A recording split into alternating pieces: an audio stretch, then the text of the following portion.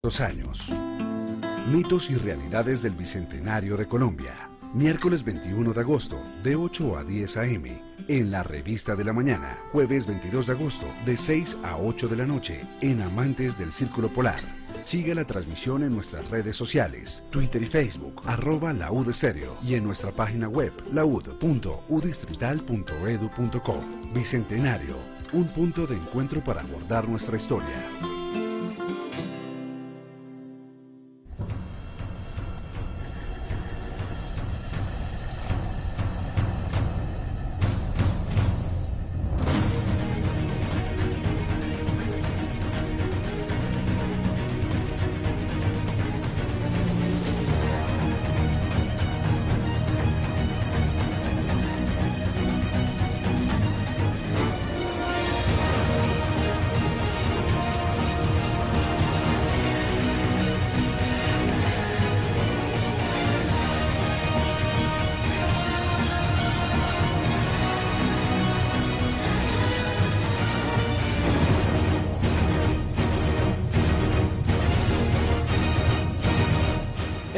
Sociales ya estamos como Somos Bicentenario UD. Por supuesto, escuchan amantes del Círculo Polar, la historia no contada del Bicentenario de Colombia, un proyecto grande de la Universidad Distrital Francisco José de Caldas que tiene una de sus expresiones con dos programas. Uno en la revista de la mañana el día de ayer, en las horas de la mañana. Escuchamos allí, entre otros, al profesor Frank Molano y, por supuesto, equipo de la Universidad Distrital Francisco José de Caldas. Hoy tenemos invitado al profesor Arminio del Cristo Mestra, también al profesor José Novoa y Absalón Jiménez. Son las 6 de la tarde, 8 minutos. Iniciamos el segundo programa, pero no el último, de lo que es nuestro bicentenario.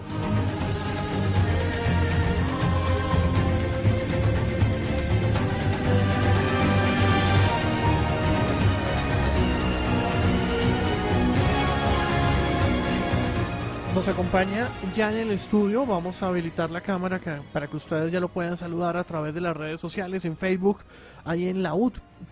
perdón, en nuestra página en Facebook es laud 90.4 FM Stereo. Ahí lo pueden escuchar y si están, no sé, en la casa o en el bus, donde vayan escuchándonos, recuerden que ahí va a quedar la memoria en Facebook y nuestra página laud.udistrital.edu.co. Por Dios, cuatro años estábamos haciendo cuentas que no nos acompañaba el profesor Absalón Jiménez, a quien ya vemos allí en cámaras para que ustedes también lo puedan saludar. Profesor Absalón Jiménez es, además de doctor en educación, es historiador y nos va a acompañar la tarde de hoy. Eh, profesor Absalón o doctor, gracias por acompañarnos. Buenas tardes. Bien, profe, qué pena, tenía el micrófono cerrado, ahora sí está, la culpa fue mía. de nuevo, buenas, buenas tardes. ¿cómo están? Me alegra estar acá. Profe, mucho tiempo sin venir, tenemos que invitarlo más seguido. Bueno, listo.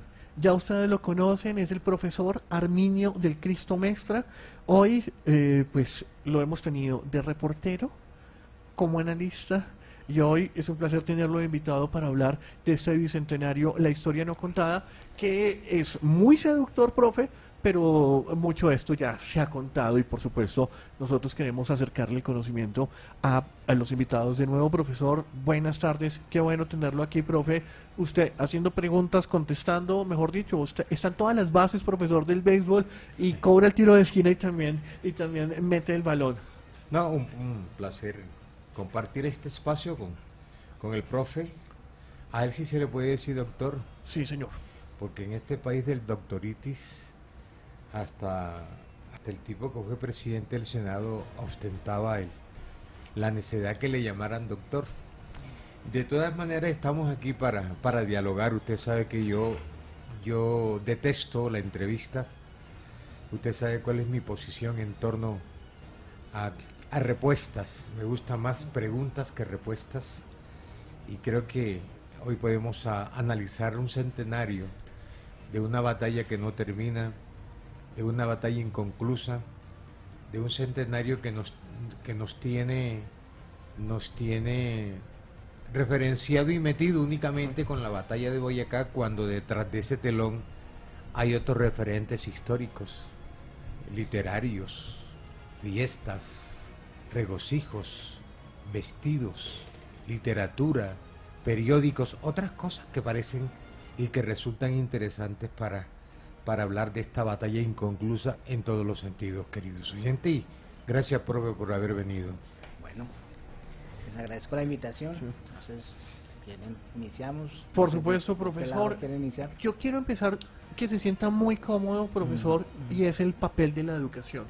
¿Qué pasó hace dos siglos con la educación y qué ha venido pasando? Porque siempre se ha dicho uno de los grandes cuestionamientos de la educación colombiana es que no fue libre, sino que fue completamente, que digámoslo así, una herramienta para no, la para no liberarnos porque se la dieron a la Iglesia Católica. Todos esos mitos que tenemos, yo creo que es lo que queremos tener hoy, además del papel del docente. Profesor, ese es su campo y usted es historiador. ¿Qué pasó con la educación en ese momento? ¿Quiénes se educaban y cómo fue evolucionando? Bueno, yo, diría clave lo siguiente, en el momento en que se, se materializa la escuela pública, la escuela pública moderna está marcada por la presencia de, las iglesias, ¿no? tanto la católica como la protestante. De hecho, los, gestores de la pedagogía moderna por lo general son curitas cristianos y pastores. ¿no? Eh, Comenio era un pastor cristiano, eh, Pestalozzi también fue pastor. eh, eh, Lancaster, ¿no? O sea, los tres grandes pedagogos europeos eran pastores cristianos y efectivamente hay una relación directa entre educación religión, ¿no? En el sentido de educación, religión, vocación, vocación docente y eh, la necesidad de preocuparse por el prójimo, por el prójimo y por ese otro individuo al cual también hay que educarlo en términos morales. Y en el caso de América Latina, pues eh, a, a lo largo del siglo XVIII, pues las congregaciones religiosas jugaron un papel fundamental, es decir, casi que hasta 1903, el sinónimo de 1930, perdón, eh, congregación religiosa es sinónimo de escuela pública, ¿no? El papel de los hermanos salesianos, la Salle, las hermanas de la presentación, es decir, efectivamente, estas congregaciones religiosas llegan a lo largo del siglo XVIII y se mantienen en el país a pesar de la expulsión de los jesuitas prácticamente 200 años y ellos son los que se hacen cargo de la escuela pública. Profesor, Ante todo por una ausencia en términos eh, de un Estado laico o civil, ¿no? Eso le Efectivamente quería hay, preguntar. hay una- es un decir, hay una ruptura en el 91 y tenemos que entender antes de esa constitución que era lo regular. Como Bueno, no éramos diría país la, la constitución del 86 pues mantuvo, mantuvo yo diría una, una linealidad en ese sentido. Ahora, con relación al al marco del bicentenario, ¿qué ocurre? Eh, las reformas borbónicas, muy seguramente aquí han hablado de, de en buena medida esas reformas de mediados del siglo XVIII, es la reconquista de, de, de- de- América Latina, de la reconquista de los criollos, pero en términos de lo que es la educación eh, de, la Nueva Granada y de América Latina marcó mucho la expulsión de los jesuitas en 1767. Es decir, efectivamente, ¿qué ocurre con la expulsión de los jesuitas? Lo que se evidencia es que el sistema de instrucción público o la escuela pública está a cargo de la congregación religiosa. Expulsamos los jesuitas y nos damos cuenta de que hay ausencia de maestros y ausencia de escuelas. Una vez expulsados los jesuitas, el Estado, la corona española, se ve en la obligación de formar eh, eh, al gremio de profesores laicos y civiles, ¿no? Es decir, ahí efectivamente aparece una política que termina siendo reconocida en 1775, 74, siete años después, la corona española, eh, lo que en ese momento era el Estado, pues determina de que efectivamente la educación de la población es una responsabilidad de- del Estado, de la corona, no de la iglesia y no de la familia. Entonces, efectivamente, aparece yo diría un, vacío y una disposición de carácter estatal. Pues luego vienen una serie de iniciativas claves, o sea, en, ese siglo XVIII, en la segunda mitad, José Celestino Mutis, nuestro sabio, de hecho, en 1762, cuando él llega al Colegio Mayor de San, de San Bartolomé, fue el primer profesor que reafirmó un principio que en Europa pues ya se había aceptado, de que eh, la Tierra giraba alrededor del Sol. ¿no? Ya se había discutido de que la Tierra era redonda, Cristóbal Colón le había comprobado, pero en la Nueva Granada nos costaba, Profe, ¿quiénes se educaban? eh, pues, eh, las congregaciones religiosas, ¿no? Los curas. No, pero ¿quiénes eran los estudiantes? Es decir, todos Eh, tenemos acceso a la educación. No, las élites, las élites, las élites criollas. Pero para que veas, ante todo, un poco José Celestino Mutis eh, llega como un gran profesor, un tipo de avanzada, y posteriormente él propone la expedición botánica en 1783, dos años después de la revuelta comunera. Entonces, para mí es clave en términos de lo que es el bicentenario, dar cuenta del peso que tuvo la expedición botánica porque fue una iniciativa de investigación en cuanto a flora y fauna del norte de, Sudamérica hasta la línea del Ecuador, que se le encarga a él y dura 25 años desarrollando esa investigación. De hecho, José Celestino Mutis nunca entregó el informe final, nunca, nunca, entregó ah. informes parciales. Así como pasó con el proyecto del Memorial de Agravio de Camilo Torres, que nunca llegó mm. a la corona española. Mm. anotar, dos cosas mm. desde ese referente histórico que hace el maestro. Uno, los jesuitas fueron expulsados dos veces del país. ¿Quiénes estaban detrás de esas congregaciones religiosas? Dominicos, jesuitas. Eran las, las congregaciones religiosas que de una u otra manera tenían ese acercamiento con el poder. Mm. Eso posteriormente va a generar una lectura, no sé si visionaria, que fueron la creación de las normales, ¿se acuerda, profesor? Que eran para la formación de profesores, que había mm. una crisis en la formación de profesores. Cuando usted toca la historia, profe, me gusta porque le, me gusta que lo vea desde esa perspectiva, porque el historiador Case Jenkins tiene una, una, cita muy, muy, muy pertinente para esto que estamos analizando. Eh, Jenkins decía que la historia es una serie de discursos sobre el mundo. Los discursos no son los que crean el mundo, pero sí lo apropian y dan un sentido al mismo. La historia como disciplina es el conocimiento de la humanidad en el pasado tocar estos puntos desde esa mirada es lo que hace falta en, este, en esta sociedad nuestra. Fíjate que, ¿en qué se centró el Bicentenario, profe? En la batalla de Boyacá.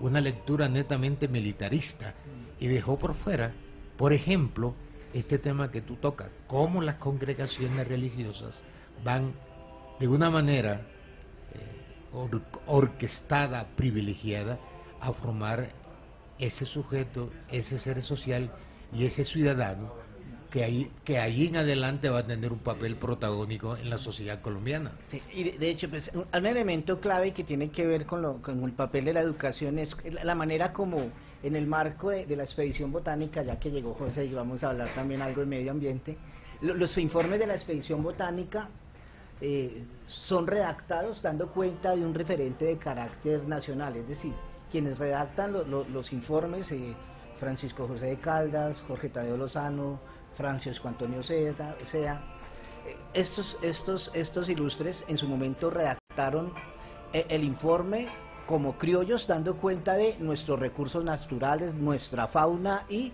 nuestra estructura geográfica, es decir, comenzaron a sedimentar lo que es la identidad de nosotros frente a esos otros que eran europeos y comenzaron a reafirmar lo que hoy en día denominamos la identidad nacional. Es decir, el papel de las élites en la reafirmación de la identidad en el marco del centenario es importante, yo diría, en el contexto de la expedición botánica, ¿no? porque pues sabemos del papel de Bolívar, Santander, las élites militares, pero las élites intelectuales jugaron un papel importante en el marco del bicentenario en el sentido en que para, ese, para, ese, para esa época esos informes fueron consustanciales a manifestar lo que somos nosotros frente a esos otros que eran los europeos, ¿no? Eso es fundamental. Ahora fíjate, un referente histórico y, a la vez anecdótico. Fíjate cómo ya el mundo conocía que la Tierra era redonda, ¿cierto? Etcétera, etcétera. José Celestino Muti llega a la Nueva Granada a plantear ese discurso y estas mismas élites religiosas, civiles, casi que mandan a José Celestino Mutis a la pira. Sí, claro casi que lo manda a la Santa Inquisición. Se salva milagrosamente porque era eh, médico, asistente del, del virrey aquí en la Nueva Granada. Pero fíjate las grandes contradicciones que empezamos a tener, mm. cómo interpretar y mirar los avances de la ciencia. Estas élites eran netamente recalcitrantes en ese sentido. en, el caso colombiano, el referente nacional, finales del siglo XVIII, aparecen los comuneros, ¿no? donde efectivamente los sectores subalternos participan, ¿no? una revuelta popular mestiza del norte de Santander, es decir, en el caso colombiano hay una participación tanto de los sectores populares como de las élites en lo que fue la, la, constitución o la materialización del referente de, lo nacional, o sea, de la identidad local frente al referente de lo foráneo. Luego, como tú lo planteabas, viene pues toda la, eh, eh, la, materialización del sistema de instrucción público. De hecho, en el marco del Bicentenario, pues hablamos mucho de Bolívar, reivindicamos a Bolívar y como colombianos inclusive despreciamos a Santander. Pero Francisco de Paus de Santander de pronto es nuestro líder político por excelencia, nuestro líder militar. ¿no? de hecho, cuando, cuando se da la batalla del pantano de Margas, el ejército bolivariano, el Bolívar lo traía a Venezuela, pero el ejército colombiano lo consolida las guerrillas colombianas, Santander en Apure, pasa en Pisba y Santander se presenta a la batalla del pantano con nuestra bandera, que era verde, azul y roja. No amarilla, azul y roja. Amarilla, azul y roja es el proyecto bolivariano.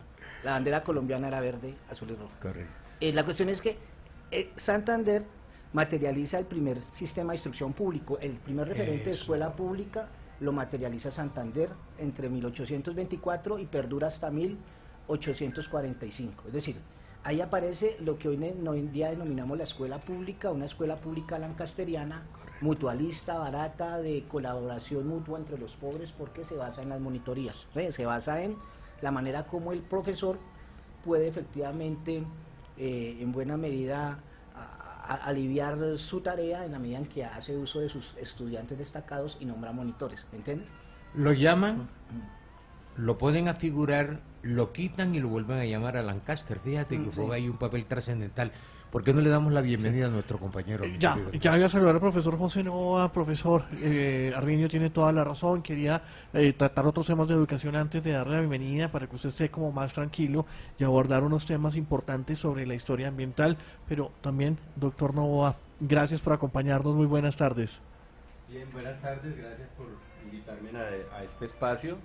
Eh, la idea mía pues es más bien como, eh, no, no, me voy a centrar en educación porque no es el tema eh, que, digamos yo manejo, pero sí más bien en, en cómo se ha transformado el concepto de naturaleza desde ese siglo XIX hasta el siglo XX cuando emerge ya un pensamiento ambiental. O sea, ¿qué hizo que emergiera un pensamiento ambiental en Colombia y cuál era la concepción que se instauró después de la de la independencia sobre la naturaleza. Y doctor Nova, hoy que arde el Amazonas, creo que es más pertinente que nunca.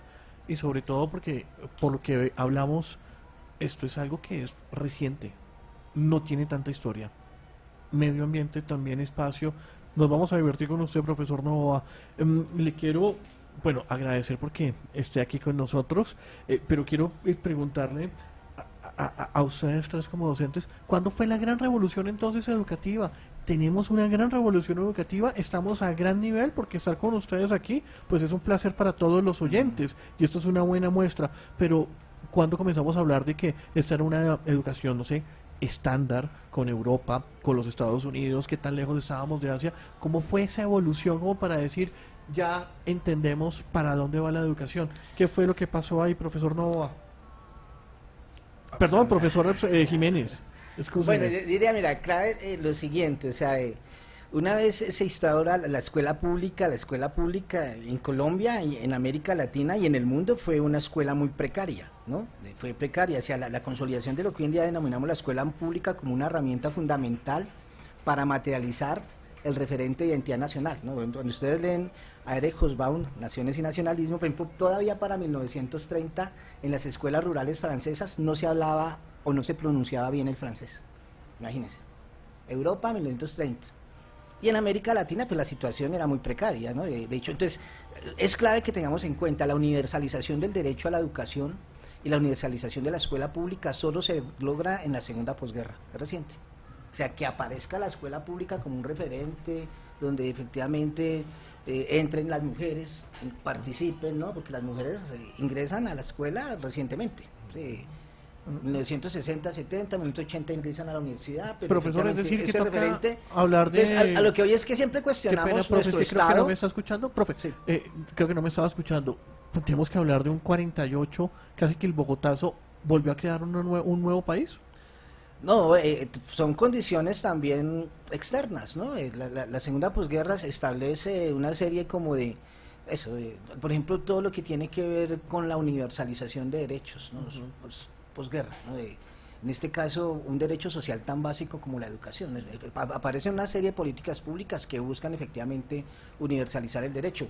eh, eh, la Convención Internacional de los Derechos de Infancia. Los derechos del niño en realidad terminan de tomar cuerpo en, la segunda posguerra. La cuestión es cómo efectivamente eso. Eh, Colombia, al igual que, que, el resto de países de América Latina, pues vive una situación, yo diría, muy particular. Es decir, esa escuela como referente, yo diría, se termina de constituir de manera reciente, es decir, que hoy en día, digamos, eh, hay una cobertura del 95, 97%, del 90%, es algo reciente. Mm. Que efectivamente se logre eh, la incorporación de la mujer en la educación superior, ¿no? De hecho, cuando ustedes leen el libro de Historia Mínima de Colombia, profesor Melo, un elemento o, sí, que él reivindica y positivo de la segunda mitad del siglo XX es la presencia de la mujer en la universidad. Él mismo lo reconoce. Cuando yo fui estudiante había muy pocas mujeres como compañeras universitarias y hoy en día la cantidad de mujeres que están en la universidad es importante. La cuestión es que,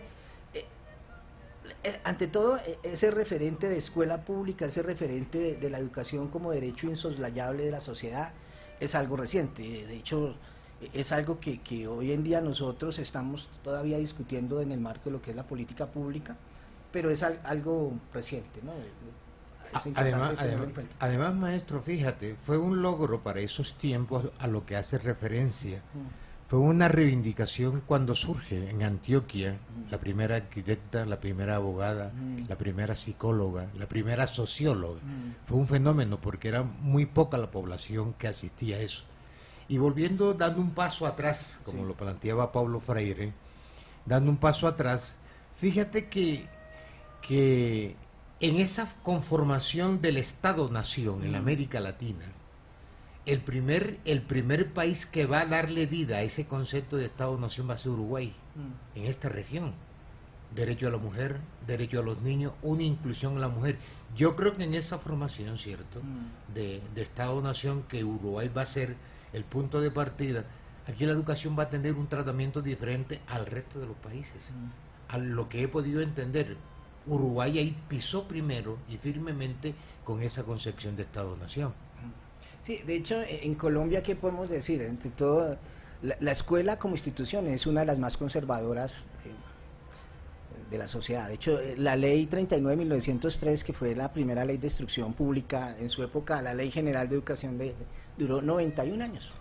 O sea, en realidad quien vino a, a tumbar la ley fue la ley 115-94. Es decir, si ustedes observan, esa ley en su espíritu se mantuvo casi un siglo, ¿sí? Una escuela rural, una urbana, una educación femenina, otra masculina, una pública, otra privada, una de centro, otra regional, ¿no? ustedes observan efectivamente el espíritu de la ley, aunque hubo reformas y hubo iniciativas, por ejemplo, la nacionalización de la escuela primaria 1960, la nacionalización de la escuela secundaria solo se da hasta la 74, es decir, que el Estado se haga cargo de eh, garantizar la primaria. Correcto. Eh, es algo tardío y, lo mismo ocurre con relación a la secundaria. Y qué decir también de, la universidad. O sea, efectivamente la, educación superior todavía sigue siendo una lucha para que efectivamente se, se, garantice como derecho a los jóvenes. La cuestión es, ahí es clave evidenciar de que, de que la, la, la, la, escuela como institución es una institución muy conservadora, ¿no? Eh, le cuesta mucho transformarse. Esta ley general de educación yo creo que dura otros 30 años más, o sea la que tenemos hoy en día. Claro, nos la vamos a reformar fácilmente. De hecho, en buena medida, algunos compañeros que hicieron parte del movimiento pedagógico dicen que efectivamente ahí está su firma. Es decir, efectivamente, en buena medida, la ley 11594 es producto también de la movilización de los maestros de los años 80, ¿no? O sea, ahí hay, en términos de política pública moderna, ahí hay un consenso en que, en términos generales, fue una, una, una ley producto de una discusión con el movimiento magisterial colombiano y el movimiento pedagógico. Ahora, mirado, mirado desde esa lectura que tú, haces, maestro, o usted hace, maestro, es todo ese acopio que va a tener Europa, ¿verdad? Con todos estos movimientos que se dan, con pensadores, con historiadores, con, lo que, con los que van a marcar un concepto de eh, nueva lectura del mundo, desde el nuevo renacer en Italia, los grandes pensadores que van a aparecer Rousseau, Voltaire, Montesquieu, todo este cuerpo colegiado de una u otra manera va a desarrollar un piso firme en Europa, mm. el que nosotros no vamos a tener en un momento determinado. Mm. Eso va a influir. Fíjate cuánto tardó para que la ilustración llegara con paso firme a nuestra tierra. Fíjate lo tardío que fue la revolución industrial en nosotros. Fíjate, aunque esa visión del desarrollo capitalista también, desde la lectura que yo tengo, llega un poco tardío. Entonces, dentro de ese movimiento, poco era lo que aportábamos a ese, a, ese avance cultural, a ese avance científico, o teníamos algo que mostrar en ese momento de la, desde la Nueva Granada. No, yo diría, clave lo siguiente, eh, en el marco del Bicentenario debemos tener en cuenta, en términos de contexto, eh, la educación colombiana no, no, no, no, en términos de movimiento intelectual, no es una, un, modelo tan rezagado como, creemos en términos generales. ¿no? De hecho, cuando hacemos un ejercicio comparado de qué ocurrió con relación a la educación colombiana, eh, con relación al resto de América Latina, de pronto está Argentina, está también el caso de, Brasil, y, en el caso colombiano ya estamos como en un tercero o cuarto lugar en, términos de una serie de avances claves. Por ejemplo, a lo largo del siglo XIX las dos reformas educativas fuertes, en 1824 la reforma al sistema de instrucción público lancasteriano de, Santander, ¿no? Se, intenta instalar un sistema de instrucción público con, un método pedagógico que en su momento era el que se debía aplicar, el Lancaster, en el sentido en que a través de la, de la escuela lancasteriana se buscaba desde cierta perspectiva política, universalizar el derecho eh, o el acceso a la escuela, el acceso a la educación, eh, buscar eh, garantizar una ciudadanía letrada y efectivamente consolidar ese tipo de ciudadanía que era la ideal, es decir, que ojalá el ciudadano de la nueva república no fuera un ignorante. Luego viene otra reforma fuerte, la de 1870, que es la reforma de instrucción pública pestalociana, ¿no? Pestalozzi nos llega casi que a, la par de la reforma de Europa y luego en 1914 aparece la escuela activa. Agustín Neto Caballero y la Universidad Pedagógica prácticamente se apropia del método de la escuela activa desde que nace en 1927 a través del método Montessori. Es decir, en términos de, lo que es eh, las ideas pedagógicas, principios y preceptos modernizantes de la pedagogía, Colombia nunca ha estado tan rezagada. la cuestión es cómo efectivamente esos preceptos y principios han incidido a la gran mayoría de la población. Yo soy egresado de la pedagógica y creo que efectivamente en algo nos afectó a nosotros, quienes nos formamos allá en los años 80, en el sentido en que sí hay unos preceptos y principios modernizantes en cuanto a la formación de maestros, que todavía se mantienen. Entonces, la cuestión es la cuestión es que, yo diría, en términos de lo que es la, discusión de, desde este bicentenario de la nación, eso, medio de todo, la escuela jugó un papel fundamental en la, en la, en la consolidación de ese referente nacional no tan fuerte como sí lo tuvo la Iglesia Católica. Es decir, en términos institucionales, la Iglesia, los partidos políticos, la escuela, ¿cuáles instituciones jugaron un papel fuerte en cuanto a la reafirmación de la, de la identidad nacional? Eh, Escuchamos al profesor Absalón Jiménez hablando de educación, en una constitución que nos dice que hoy la educación, por lo menos la primaria y la secundaria, es obligatoria y gratuita. Y ya, ya hemos hablado también con el profesor José Novoa, que nos estaba hablando de historia ambiental, pero con muchísimas dudas de eh, bueno, ¿qué es eso? ¿Teníamos conciencia en el Bicentenario de cómo lo estábamos estudiando? ¿Cuáles fueron esos grandes avances? Dame, una interpelación cortitica. No estamos en el Congreso, pero te voy a pedir la interpelación. señor presidente, parece que yo le voy a hacer una jugadita. Eh, claro, no, profe. De, ¿Sabe por qué? Porque ahora que, ¿Sobre qué, profe? Ahora que eh, mi querido doctor toca la, el tema de, de la iglesia. Profe, ¿qué tanto afectó la determinación de Tomás Cipriano de Mosquera en quitarle los bienes y las tierras a la iglesia con los bienes de manos muertas, profe. ¿Eso afectó algo en el movimiento, crecimiento? No, de, hecho, pues eh, la iglesia a lo largo del siglo XIX era una institución en términos económicos muy poderosa. Aquí tenemos un buen ejemplo. Mire, aquí está la iglesia de San Diego y está la Virgen del Campo. Allá esa iglesia ahí esa virgencita que este, estaba en la calle en el siglo XIX, esa virgen yo diría tiene unos dos, tres siglos. A lo largo del siglo XVIII y XIX ella estaba ahí en la calle y eh, muchas eh, viudas que quedaban sin, herederos, pues eh, le, daban la propiedad a, la, iglesia del campo, ¿no? a la iglesia de San Diego, que era la iglesia del campo, a la Virgen del Campo. Esa, esa iglesia fue dueña de un alto porcentaje, casi que el 20% de la sabana de Bogotá le pertenecía a esa pequeña iglesia y a esa virgen, imagínense. pues claro, estas disposiciones, claro, el, poder civil eh, siempre pues entró en tensión con, ante todo, el poder que, ostentaba la, iglesia, ¿no? Y, las propiedades, sus bienes materiales, ¿no? entonces se toman las decisiones, pero en el fondo yo diría, la, la cuestión es, eh, eh, hablando ante todo de, de, lo que es la nación, de hecho, Daniel Peco en Orden y Violencia manifiesta, bueno, la pregunta es por qué si, si en el siglo XIX se dieron tantas guerras de carácter regional e interregional y el siglo XX estuvo mediado por violencia y guerra, ¿por qué no nos desgregamos como nación, como Estado?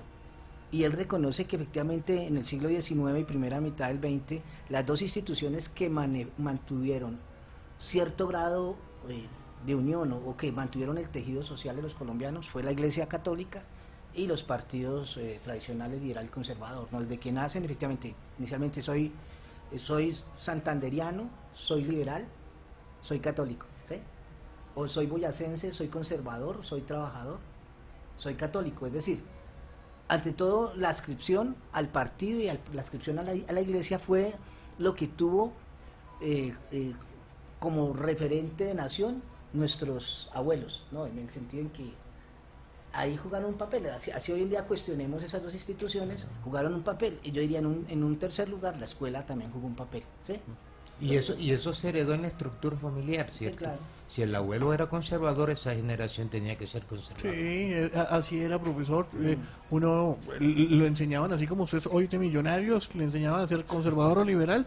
Eso, afortunadamente, también ha cambiado. Teníamos dos maneras de ver el mundo, ¿no?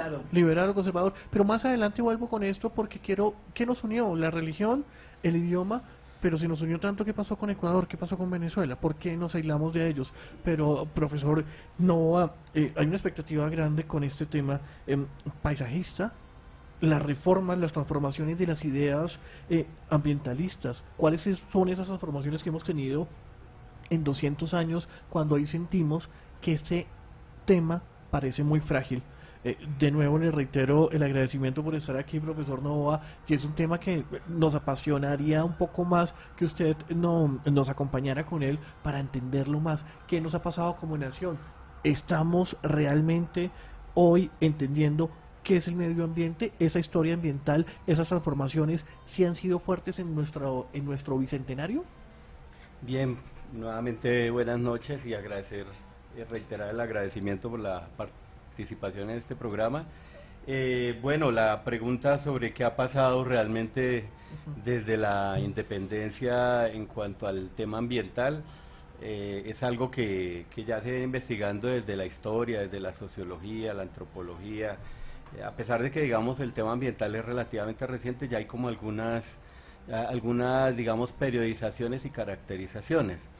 Eh, con la independencia, si retomamos un poco a, Germán Palacio, que hace una caracterización de historia ambiental, él tipifica este periodo como de naturaleza liberalizada. En la historia ambiental de Colombia se podría ir como en tres periodos, según él, naturaleza liberalizada, que va de 1850 a 1930, naturaleza modernizada de 1930 al 80 y naturaleza ambientalizada del 80 para acá. Eh, sin embargo, pues esta ha sido una historia de conflictos eh, y enfrentamiento entre diferentes actores sobre la concepción de la naturaleza y disputas por el territorio. O sea, la historia ambiental ha sido una historia de disputas a lo largo de la historia eh, de Colombia y en ese primer periodo de naturaleza liberalizada, pues lo que se inauguró con la independencia fue la concepción efectivamente liberal de la naturaleza en el sentido de que la naturaleza tenía que entrar en la lógica liberal económica que era el mercado. Por eso la desamortización de bienes de manos muertas, la liberación de los esclavos, buscar articular al país en el siglo XIX a la economía internacional es parte de la concepción liberal de la naturaleza y de lo que se llama la en sociología del conocimiento el desencantamiento del mundo, empezar a ver la naturaleza ya no con un carácter sagrado y espiritual, sino meramente como un bien económico. Eh, ahí todavía el siglo XIX no hay todavía una preocupación grande por los impactos ambientales, la contaminación, eh, ni siquiera la palabra o la denominación ambiente existe para la época, por cuanto tampoco las transformaciones paisajísticas tienen el impacto de hoy. Hoy hablamos de grandes crisis ambientales globales y cuando hablamos de crisis ambientales globales estamos hablando de crisis planetarias. El problema del calentamiento global no es de un país, sino es de todo el globo, la destrucción de la capa de ozono, de los bosques tropicales templados. Entonces es un periodo en que las transformaciones paisajísticas, si se comparan con el siglo XX, pues son menores y todavía no existe en el mundo esa conciencia de una política ambiental, sino más bien el Estado se preocupa eh, por delimitar el territorio. El Estado nació en el siglo XIX por delimitar el territorio y por civilizar lo que consideraban una naturaleza salvaje. Eh, entonces, las transformaciones, digamos, eh, más grandes se van a dar en el siglo XX. Profesor, ¿qué es eso de civilizar? Civilizar para muchos es que la naturaleza, en la concepción que se tenía en alguna época, era que la naturaleza era salvaje, indómita, eh, y había que entrar a esos territorios a desmontar, a, hacer el, digamos, el nuevo desarrollo del momento. En el siglo XX ya las grandes, hay varias cosas por las que ya empieza a emerger una conciencia como ambiental. Una es que el siglo XX realmente el país entra en el desarrollo capitalista como tal, porque el siglo XIX el intento de articulación a la economía internacional sea en medio de unas relaciones sociales todavía en, eh, semiserviles. Ya el siglo XX es un siglo de desarrollo del capitalismo y eso supone grandes transformaciones paisajísticas. Desde hacia la Amazonía, la explotación de caucho, hacia el Chocó la explotación de madera, hacia el norte del país la explotación ganadera. Entonces hay, hay toda una construcción de una infraestructura para el desarrollo capitalista que indudablemente transforma el país como nunca lo había transformado. Pero al tiempo hay la emergencia de un sector eh, académico, ambiental, que empieza algunos a retomar las ideas del siglo XIX, como Enrique Pérez Arbeláez, la idea de la expedición botánica. Eh, otros, eh, aquí señalo Enrique Pérez Arbeláez, Ernesto Gull, Víctor Manuel Patiño, Carlos Leman Valencia, Federico Meden, Aníbal Patiño, toda una serie, José Cuatrecasas, el profesor Tomás Van der Hamen, hay toda una serie de académicos que empiezan a cuestionar todos los impactos del modelo de desarrollo del capitalismo del siglo XX y empiezan a cuestionarlo y retoman, digamos que de la expedición botánica, la idea científica de hacer inventario de los recursos naturales para el desarrollo, pero ya no tienen la lectura de, de Mutis de la ciencia cartesiana de la separación naturaleza de la sociedad, sino que el pensamiento ambiental en el siglo XX ya ve las relaciones sociedad-naturaleza y sí aparece ahí sí la concepción de pensamiento ambiental, ya no de, de, simplemente la naturaleza eh, aislada, sino la relación naturaleza-cultura.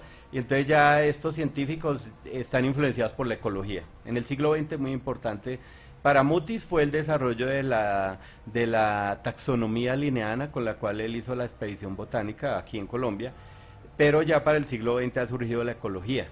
Y en la ecología ah, muestra las interdependencias de la naturaleza y los impactos que generamos los seres humanos sobre la naturaleza. La ecología había surgido a finales del siglo XIX eh, y estos científicos habían empezado a retomarlo. Ernesto Gull la había articulado con la geografía, eh, Raigel Dolmatov, el antropólogo, había articulado arqueología con ecología, eh, Carlos Lehmann Valencia, que se preocupó por el tema de, la, de los pájaros, de las aves, también la herpetología de Federico Meden se había preocupado también por el tema ecológico. Entonces ahí empieza a surgir un pensamiento ambiental que tiene, desde el punto de vista político, cuestiona que el país, después de la independencia, nos hayamos centrado solamente en, digamos, en una economía muy de monocultivo y una economía poco diversificada en un país de grandes cantidades de recursos naturales. Nosotros ese, ese digamos, movimiento científico ambiental es un movimiento eh, que, se, que quiere enrutar la conservación hacia el desarrollo, diversificar el país y para eso plantea necesariamente que, que debe existir una gran reforma agraria en el país, fortalecer la economía campesina, hay un cuestionamiento grande a los impactos ambientales del, del latifundio ganadero, entonces aparece como, como esa, esa conciencia ambiental que presiona para que en el país empiece a surgir una política ambiental más o menos la primera institución de recursos naturales que se crea en el país es el Interena en 1968, que es el que antecede a la creación del Ministerio del Medio Ambiente en 1991. Entonces ahí empieza a surgir una primera institucionalidad producto de esa presión de los académicos que además habían creado jardines botánicos, que habían creado el Instituto de Ciencias de la Universidad Nacional, que habían planteado la necesidad de crear reservas. Y, digamos que hay una ruptura con la independencia en la medida que en la independencia se piensa en la visión cartesiana del mundo, aquí ya no, aquí se piensa en una visión sistémica del mundo. El medio ambiente es un sistema.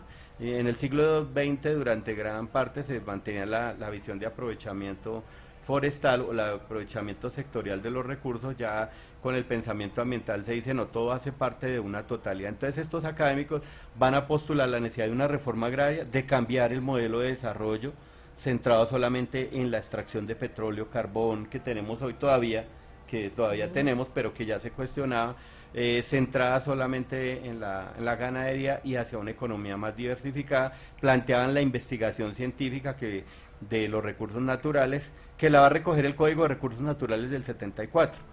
En el 74 el Código de Recursos Naturales va a recoger la idea de la investigación en las áreas de parques, va a decir los parques nacionales naturales son para la investigación, la educación y la conservación y el servicio para brindar servicios ambientales.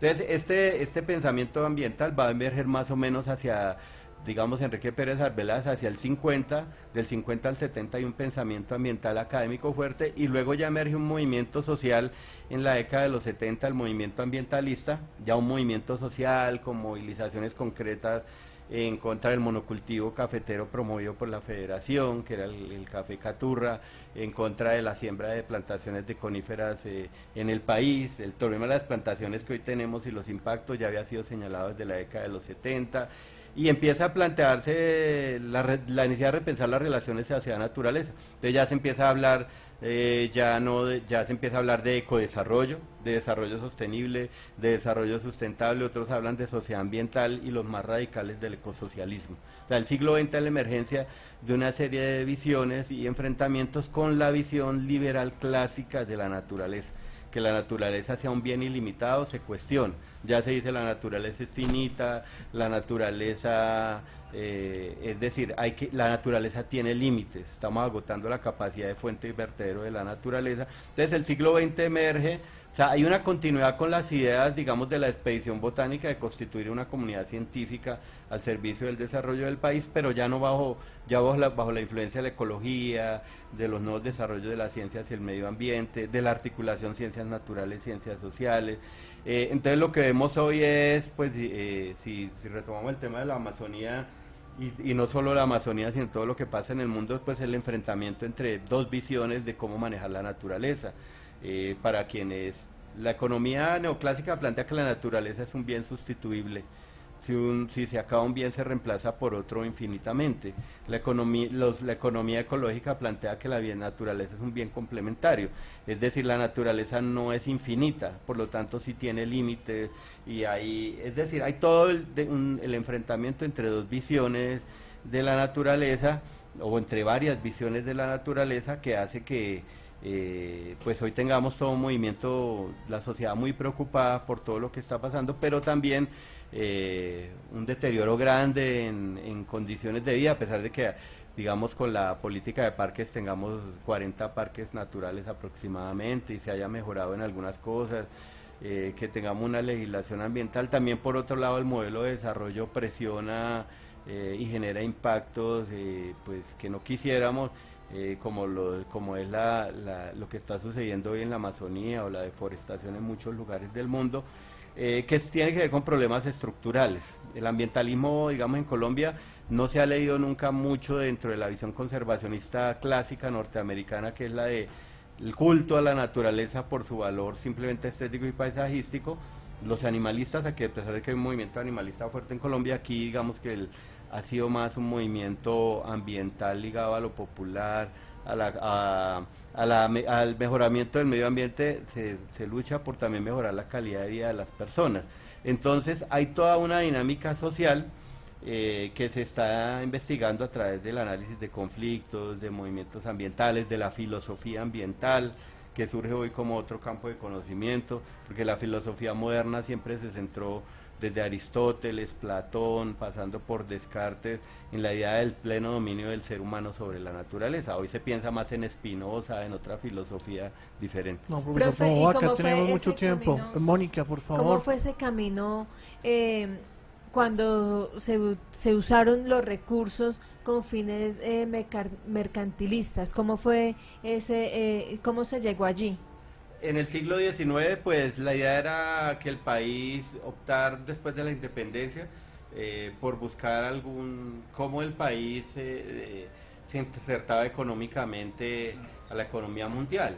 Entonces, buscar la explotación de algunos recursos como la quina, el café, entonces ahí, digamos, no hay la concepción de si eso genera o no impacto, sino simplemente la explotación económica con el ánimo que el país se inserte en esas nuevas relaciones económicas. Y porque para la época pues no, no hay una concepción, digamos, la, la naturaleza es considerada simplemente como algo infinito, porque el país es grande, porque tiene grandes extensiones de territorio, porque no hay denuncias de problemas ambientales, porque además se quiere, después de la independencia, mirar cómo, cómo es que finalmente el país entra en esa articulación. No hay un pensamiento ambiental como tal, sino la naturaleza como algo ilimitado. Además que en la ciencia, pues eh, en la ciencia todavía no existe, existe esa separación sujeto-objeto, donde la naturaleza es lo externo. Para, recordemos que incluso la expedición botánica, se las expediciones botánicas se hacen en el marco de una coyuntura que es una crisis económica en España. La expedición botánica tiene el fin de dar información a los españoles de nuevos productos que pudieran sacar a España del atraso frente a otras potencias en el mundo. Entonces no, hay, no era la, concepción de Mutis y de los expedicionarios botánicos, no era la de la conservación, era incluso la de la explotación eh, del recurso. Lo que pasa es que pues, se vio la expedición botánica y algunos de los expedicionarios pues tuvieron ideas independentistas frente a frente al país entonces pues fue un movimiento eh, digámoslo en cierta medida revolucionario en términos políticos pero en términos científicos todavía se mantenía porque en el siglo XIX todavía no hay una visión ambiental en el mundo. Eso empieza a surgir apenas a finales del siglo XIX y en el XX cuando ya los impactos crecen tanto y la contaminación es tan evidente y las muertes por contaminación en el mundo, que ahí sí ya parece que tenemos una relación sociedad-naturaleza que es desequilibrada. Entonces, es la visión que había liberal clásica de la economía, la visión de la filosofía de que el ser humano era, eh, y la visión judío-cristiana de la superioridad del ser humano sobre la naturaleza.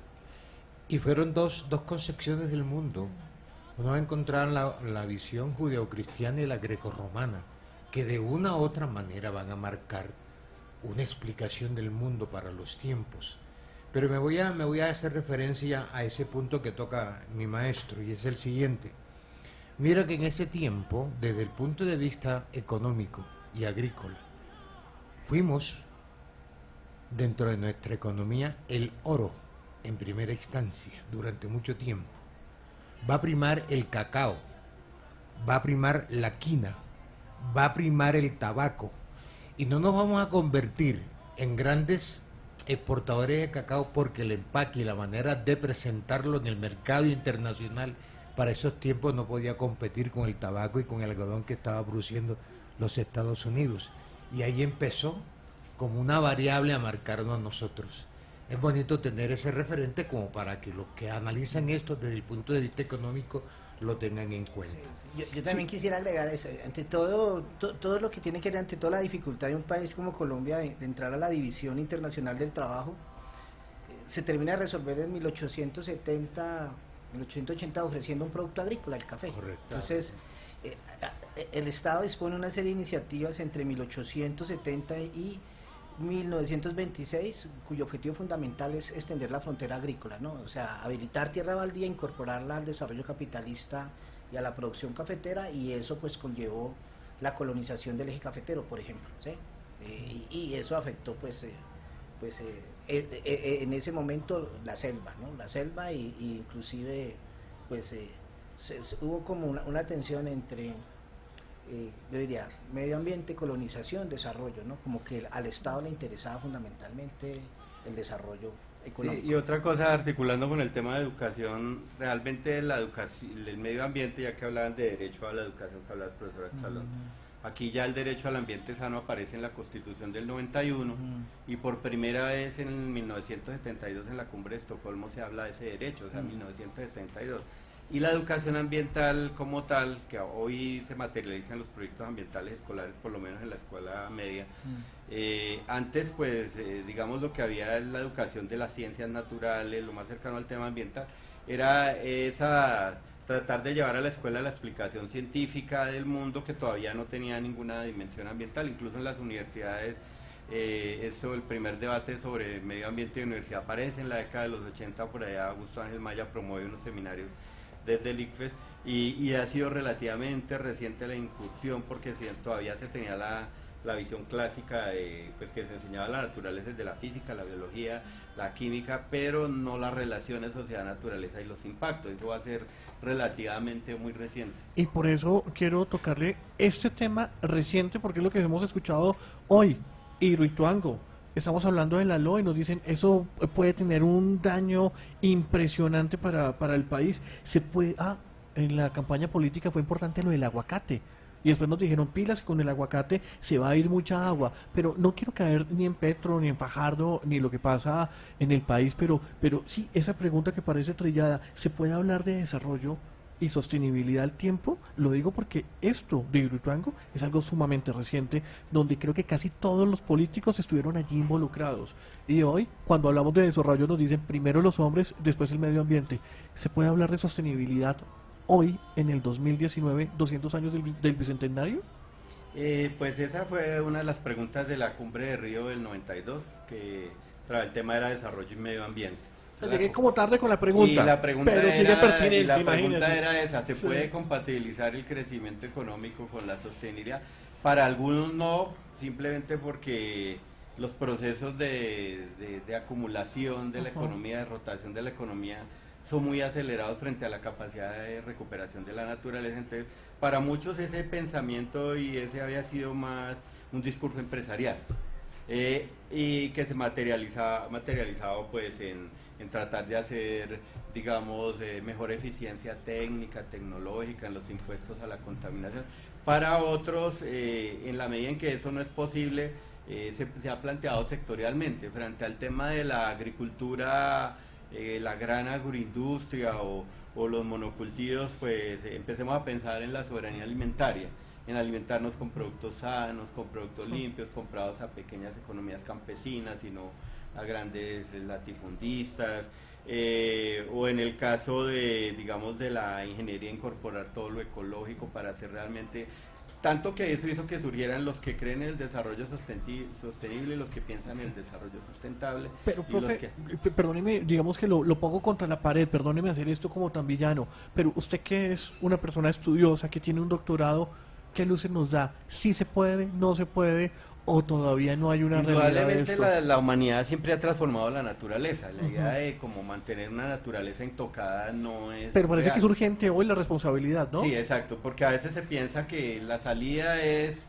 Eh, no, digamos, hay, hay, digamos, algunos y son posiciones muy respetables eh, eh, frente a los alimentos o frente a la, al consumo de animales, no consumo animales, sino productos de los ya frutos de, lo muerto y no voy a, esperar ningún ser vivo, pero en la historia, la historia de las relaciones sociedad-naturaleza es el uso de la naturaleza. Lo que pasa es que ya, digamos, hoy llegamos a límites grandes, eh, a, crisis ambientales globales eh, que son insostenibles, o sea, por ejemplo, frente al tema del calentamiento global, los científicos en la primera cumbre dijeron que había que bajar los gases de invernadero al 60% para estabilizar la temperatura. En la primera cumbre apenas alcanzó el 5.1% del 60%. Y hoy tenemos todo ese movimiento de los jóvenes frente a las huelgas que se han planteado frente al calentamiento global porque realmente los avances son mínimos. O sea, como está planteado hoy el desarrollo es insostenible porque está basado en una alta sociedad de consumo. El de consumo y desecho entonces es complejo. O sea, eh, fíjese que los Estados Unidos que siempre se, se, oponen casi siempre a casi todas las firmas, salvo el gobierno de Obama que firma el pacto en París, siempre ha sido la defensa de su soberanía nacional, que es la defensa de la industria automotriz.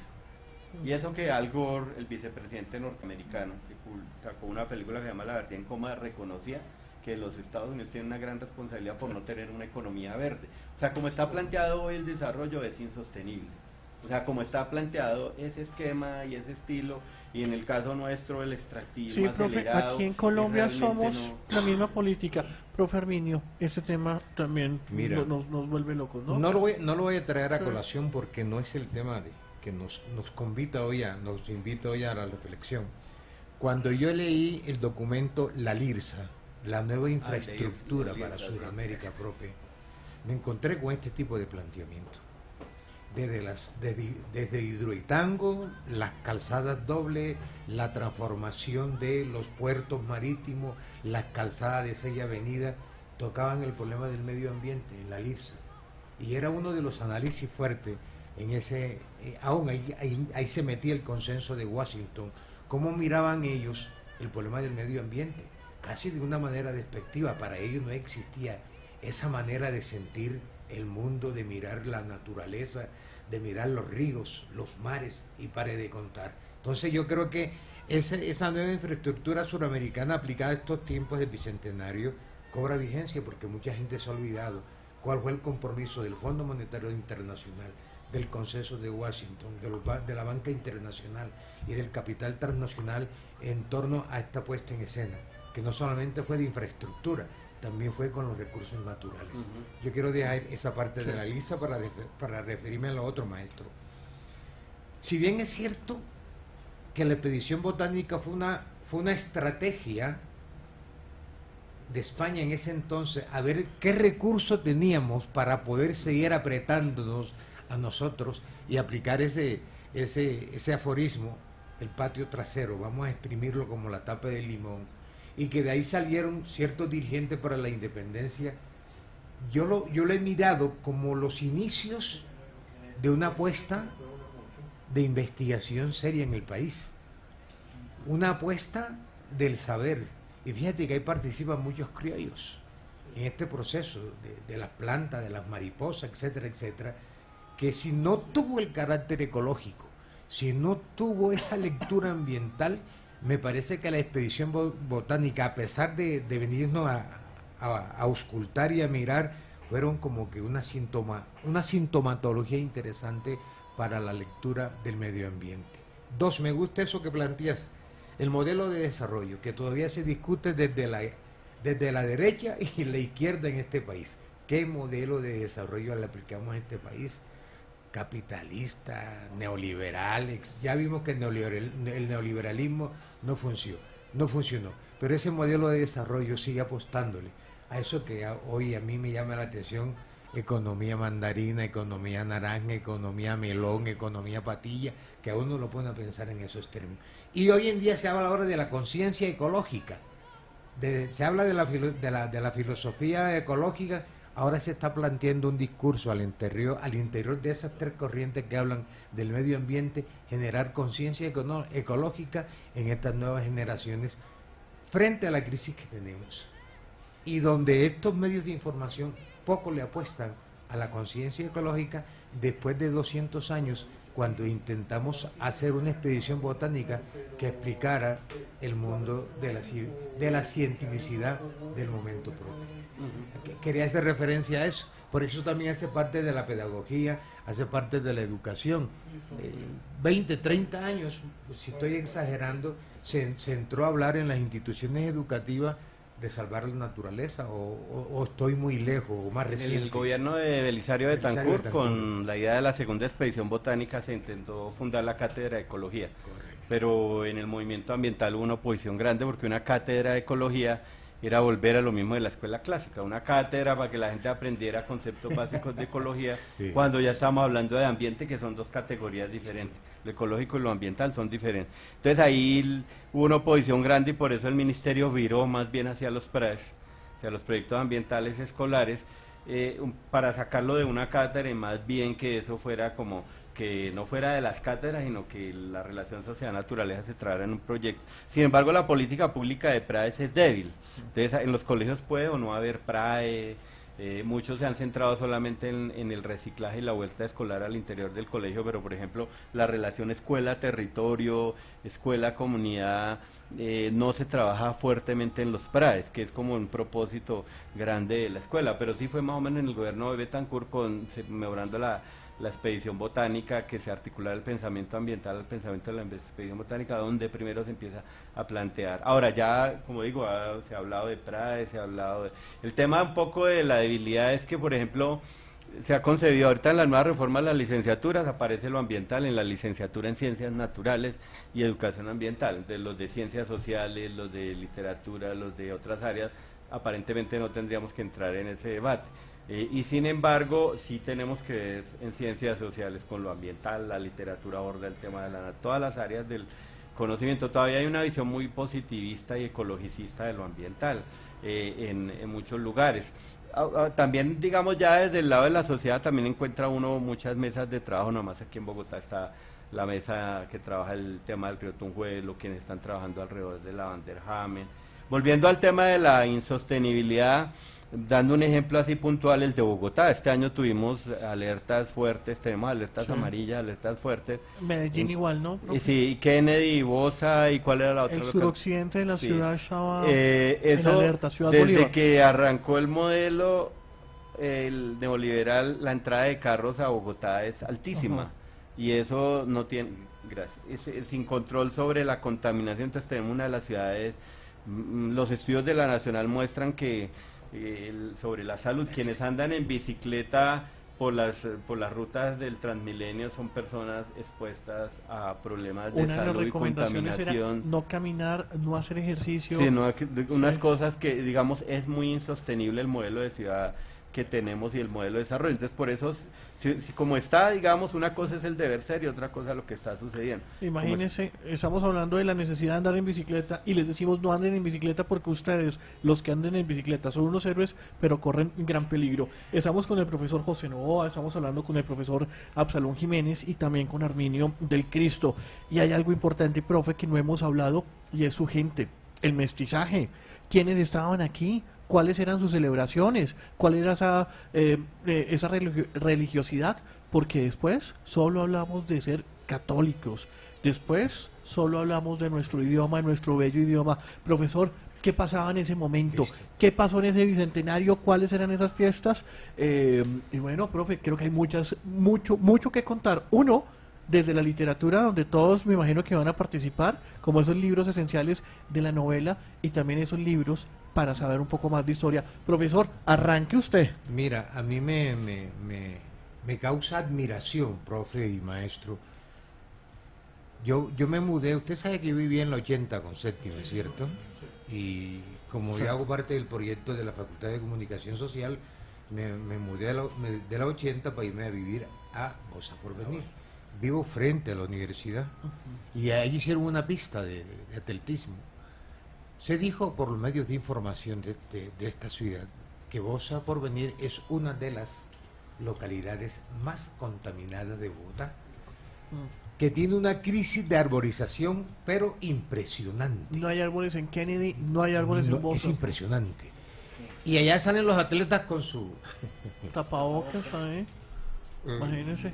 A, a, trotar, y bueno, hasta dónde eso puede ser tan efectivo que no te afecte eso. Y hablando del bien del medio ambiente, profe, mire, este no, esta anécdota, esta anécdota, no, este referente histórico. Bueno, el anécdota visto desde la historia. En la batalla de Boyacá, los españoles ya estaban vencidos, no por las fuerzas insurgentes, sino por el entorno medioambiental en que se hallaban. Las modificaciones ecológicas de la época colonial habían convertido gran parte de la Nueva Granada en una zona fértil de microbios letales para los europeos no inmunizados. Y hace referencia al mosquito ese, eh, el Aedes aegypti, el mosquito ese. El mosquito también contribuyó a la independencia porque picó a los soldados y los enfermó. un, dato, un dato curioso que me entregué. Miren, compañero, hay una pregunta, una pregunta que, que a raíz de todo esto, de la batalla de Boyacá, que al frente Simón Bolívar con el caballo, que en la retaguardia, que en la retaguardia Santander, etcétera, etcétera, todo el carreto ese que que nos, nos montaron a ver por televisión en días pasados. Hay un interrogante. Y ahora que asistimos a la celebración del bicentenario de la independencia de Colombia, la pregunta por los rituales y las, las celebraciones patrias cobra mayor significación e importancia en nuestra historia. Yo digo que sí, por dos razones muy sencillas. Hay muchas, pero le voy a dar prioridad a esta. En el antiguo régimen, las fiestas y celebraciones despertaron sentimientos antagónicos y causaron sensaciones múltiples hasta el punto de prestarse para la ambigüedad de prácticas y representaciones.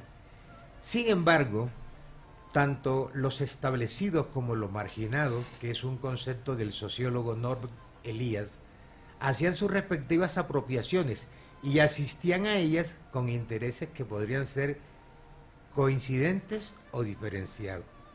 Los establecidos, por ejemplo, usaban las fiestas como instrumento para realzar el prestigio y la posición social. Ese fue el caso de los reyes y las autoridades en las sociedades hispanoamericanas. Con ello buscaban, sobre todo, legitimarse ante sus súbditos, vasallos y vecinos, y ante otros cuerpos y privilegios. Los artesanos, las cofradías y los gremios de mineros, comerciantes y cárigos hacían lo mismo. En cambio, lo marginado, indio, negro, mestizos y gentes del común en las ciudades y en las villas hispanoamericanas encontraron en la fiesta, bien fueran de carácter religioso o civil, el escenario propio para dar sentido a sus vidas y construir su propia interpretación de los otros. Establecidos y marginados, tal como lo definía eh, el sociólogo Norbert Elías, asistían a la fiesta como artífices de una representación taumatúrgica en la que cada uno concretaba el tiempo cósmico, biológico e histórico. Las fiestas y celebraciones constituían una especie de segunda vida, incluyendo las borracheras y la pólvora. La pólvora no es gratuita, la vamos a heredar de estas fiestas y de estos rituales que se hacían. Por eso amamos la fiesta. ¿Y por qué las borracheras? Nuestros precolombinos usaron la borrachera para una manera de regocijar el espíritu desde el punto de vista colectivo, si eran buenas, si eran grandiosas y si eran efectivas esas producciones agrícolas. La borrachera no la satanizan. ¿Quién viene a satanizar la borrachera? El conquistador español. Y más adelante hago referencia a eso. Yo voy al profesor tomando nota de algo porque ya tenemos una pregunta aquí con Mónica. Pues, entonces, en, términos eh, culturales, y ya hace referencia a Norbert Elías, pues yo, también he tratado como de pensar como, como bueno, cuál ha sido como el papel de, de, eso, de ciertos canales, y no en ocasiones reconocidos por, la Academia Oficial en el marco de lo que es... Eh, la, reafirmación de la identidad nacional. ¿no? Está, está, está toda la, fiesta popular, por ejemplo, la, peregrinación religiosa también la Iglesia Católica la cuestionaba, ¿no? que detrás de la peregrinación religiosa participaban los mestizos, los indios, el blanco pobre, por lo general se tomaba chicha, había peleas, puñaladas, entonces la iglesia hacía no, peregrinación eh, ir a Chiquinquirá, la Iglesia Católica a finales del siglo XVIII, XIX, y trató de prohibir la peregrinación. Sin embargo, la peregrinación era importante en términos de efervescencia del catolicismo popular y reafirmar esa identidad eh, desde una perspectiva eh, menos controlada por parte del cura, ¿no? O sea, la peregrinación permitía otra, otro tipo de experiencia en términos del catolicismo popular. Eso para mí ha sido importante y también la manera como, por ejemplo, las imágenes religiosas, que es algo que trabajé en un pequeño artículo. Eh, en el caso bogotano, o sea, se hace, por ejemplo, un recorrido de tres imágenes, ¿no? De la Virgen del Campo, esta Virgen de, San Diego, era tan, tan, tan peregrinada y tan visitada a lo largo del siglo XVIII como posteriormente lo fue el señor Caído de Monserrate y eh, o tuvo tanta importancia como el señor Caído de Monserrate, el que llegaba a Santa Fe, Bogotá, de manera obligada iba a la Virgen del Campo, iba a esta iglesia a hacer la visita. posteriormente, en la, en la segunda mitad del siglo XX, pues aparece el señor Kevin Monserrate y en buena medida la peregrinación religiosa reafirma la identidad de- del bogotano, del catolicismo popular y, y de- del colombiano también, ¿no? Y posteriormente viene el, eh, eh, el Divino Niño del 20 de julio, ¿no? O sea, esas imágenes, cuando uno hace un recorrido de esas imágenes, o sea, a lo que es que las imágenes tienen un poder sobre las personas, ¿no? Eh, el álbum familiar también, pero la imagen religiosa es, es clave. Entonces uno puede hacer ahí unos recorridos claves. Bueno, ¿qué ha pasado en el marco de estos 200 años eh, en términos de lo que es eh, la religión y la práctica del catolicismo popular, cómo se transformó? Otro elemento para mí clave que, que también he venido inspeccionando, profesor, es el, el rollo del deporte, ¿no? O sea, en, buena, en buena medida, mira, to- todo en el- de- desde los años 30, 40 empezamos a, trabajar el psicoanálisis. José Francisco Socarrás en la Escuela Normal Superior empieza a trabajar el psicoanálisis y comienzan, por ejemplo, José Francisco Socarrás a reivindicar la importancia del, deporte, ¿no? Del deporte, es decir, efectivamente él dice, a través del deporte, en términos de, lo que es el, psicoanálisis, hay una especie de catarsis, en buena medida podemos reemplazar la violencia y la agresión hacia el otro por medio de la competencia.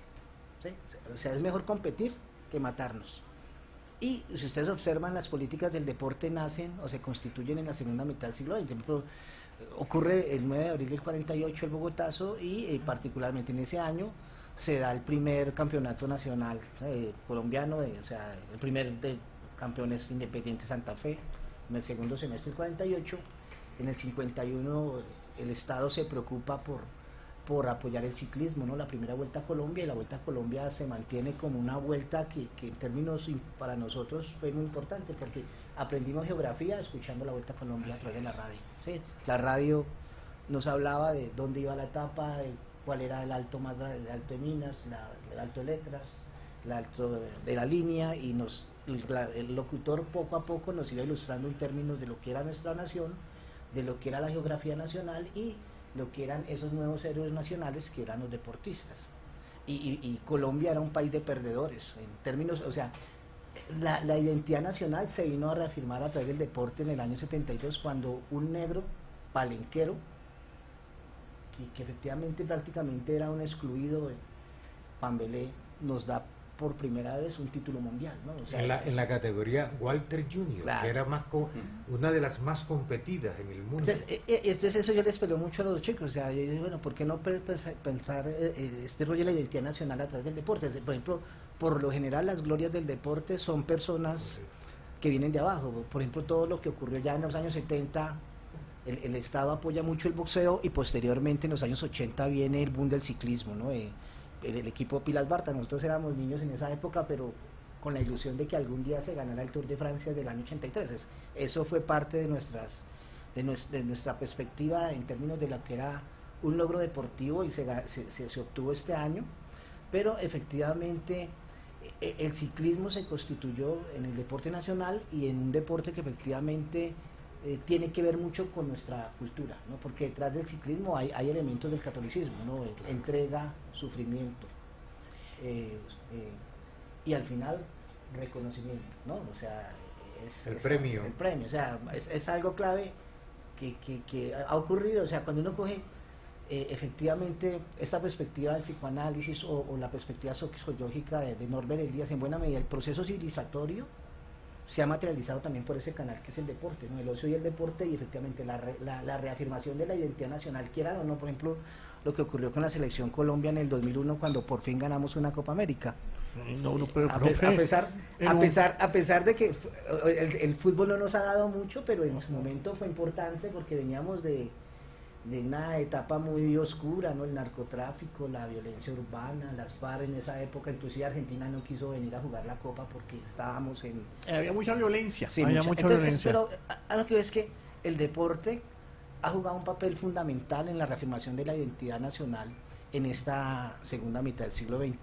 Algo similar también, tú eres un experto con relación a los, te- a, a los medios de comunicación, ¿no? De hecho, el profesor Jesús Martín Barbero, bueno, su libro de los medios de las mediaciones, pero él re- reivindicó y defendió el papel de los medios eh, en la reafirmación de la identidad nacional en los años 80. Él dice, mira, si no es por novelas como La Casa de las Dos Palmas o San Tropez, que fueron las novelas, o sea, decía, son importantes, estas novelas Eh, ¿Por qué? Porque a través de la, de la Casa de las Dos Palmas, eh, el colombiano del común, el que de pronto no lee mucho, se enteró cómo fue el proceso de colonización antioqueña, eh, cómo efectivamente se consolida la cultura paisa en el eje cafetero.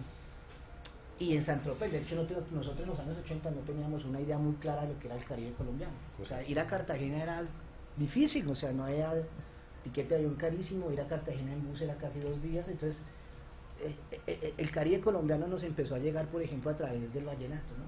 Diomedes Díaz y el binomio de Rafael Orozco empezaron a llegarnos, ¿no? Ya en términos comerciales empezamos a, escuchar, a aceptar, pero no teníamos una idea muy clara de quién era el costeño, la diferencia entre el caribeño y el ribereño. Entonces el profesor Martín Barber en, en San Tropez, el padre de Pio Quinto Quintero, y todo este rollo que ocurrió ahí, que, que a mí esa novela, yo, yo estaba en esos días terminando mi bachillerato, claro, efectivamente fue, fue importantísimo en términos de que profe, para el profe Jesús Martín Barpero, a través de la novela televisiva se reafirmó la identidad nacional en los años 80. O sea, que, el, Estado le debe a los medios también. ¿sí?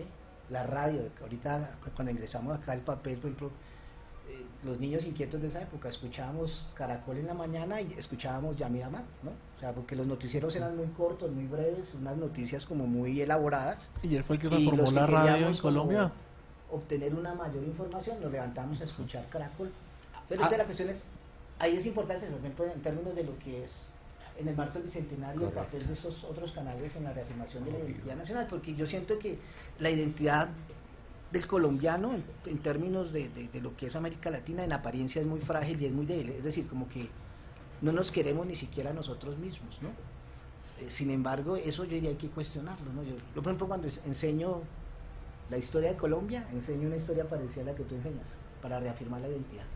Profe, y ahora que habla usted de identidad eh, nacional, les comparto un, fragmento del libro de Daniel Samper Pisano en La breve historia de este puto mundo, que dice el peligro de los himnos. No hay peor profesor de historia que un himno nacional.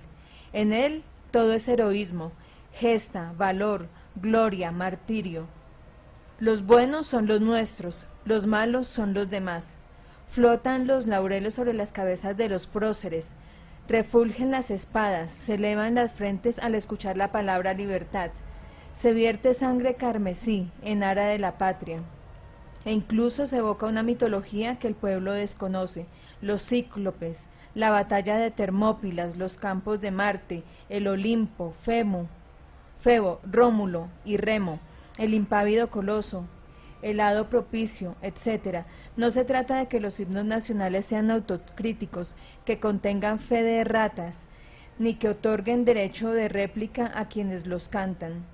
Pero la de América Latina es una historia plena de júbilo inmortal en los himnos y en otra muy distinta en la realidad.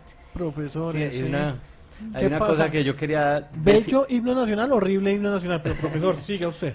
Eh, en el siglo XX, estos pensadores que mencionaba mm, se inscribieron en una cosa que llamó el nacionalismo ambiental. Mm. O sea, la identidad no solo por el territorio, eh, sino también por la naturaleza, o sea, eh, y sobre todo en relación con el trópico. Casi que este movimiento se puede llamar movimiento de defensa de una tropicalidad positiva.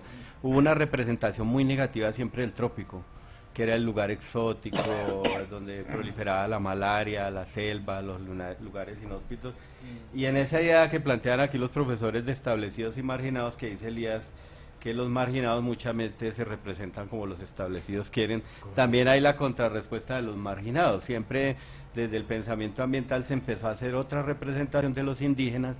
Eh, decía Pérez Arbeláez, celebremos el 12 de octubre, pero reivindicando a Mutis porque trajo las ciencias útiles, reivindicando a los indígenas por las plantas medicinales y reivindicando a los afrodescendientes o a los negros porque finalmente así se ha constituido la nacionalidad. Y hablaban de la defensa del trópico, de conocer nuestras especies, de hacer el desarrollo con base en el trópico y no imponer el modelo económico sobre unos ecosistemas que no iban a, tolerar, por ejemplo, plantaciones de coníferas en el país.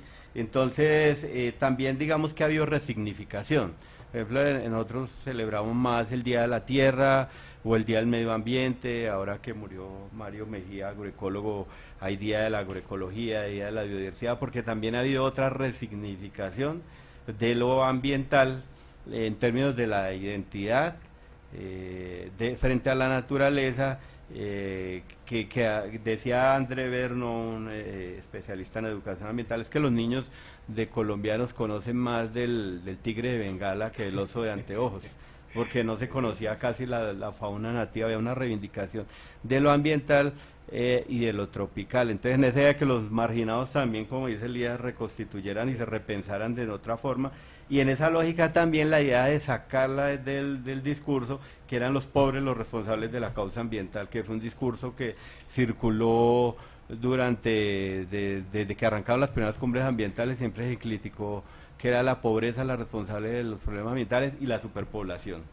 Entonces después se empieza a repensar el discurso y se dice, pero han sido más los países ricos los que gastan más recursos naturales, ha sido la riqueza la responsable de, la, de la crisis ambiental más que la pobreza y ha sido y, y el tema no es digamos países con, con, una gran concentración de población gastan menos recursos naturales que los países industrializados.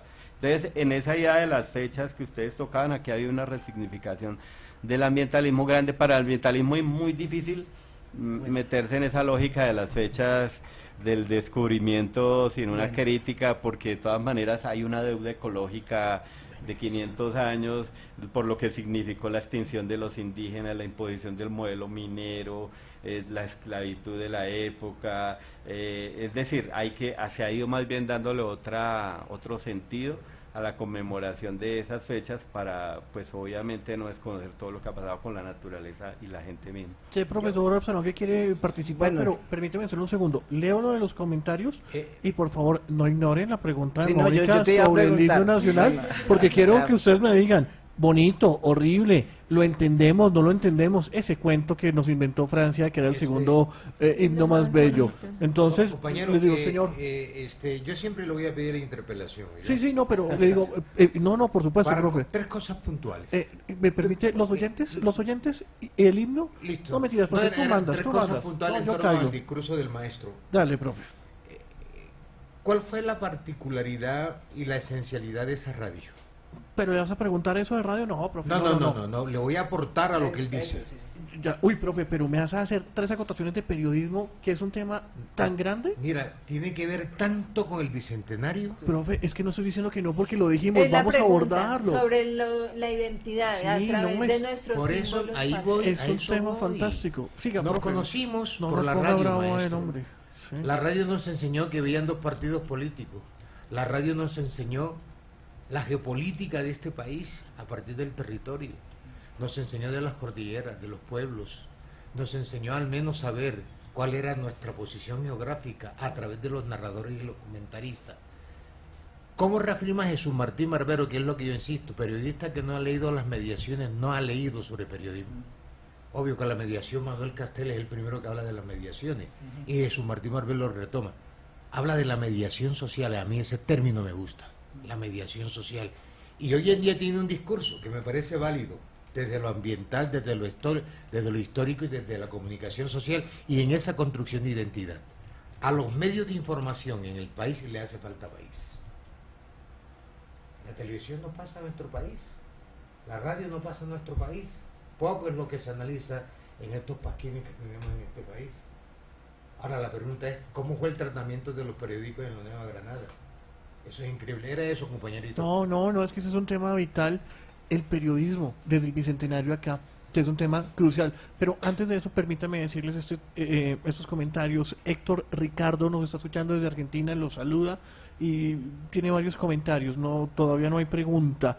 Bella y cálida gente, llámame obrero y nunca maestro. Por favor, Colombia, obrero de paz. Argentina no dispone de la materia prima del cacao lo importa, pero tiene una industria de transformación y, derivado de calidad de exportación, como es posible que Colombia solo disponga del rico jet y su limitación en variedad. Eh, y además nos dice, hay un recurso de la Amazonía que Colombia no valora lo suficiente y son la industria, los fármacos derivados de la biodiversidad de oportunidad.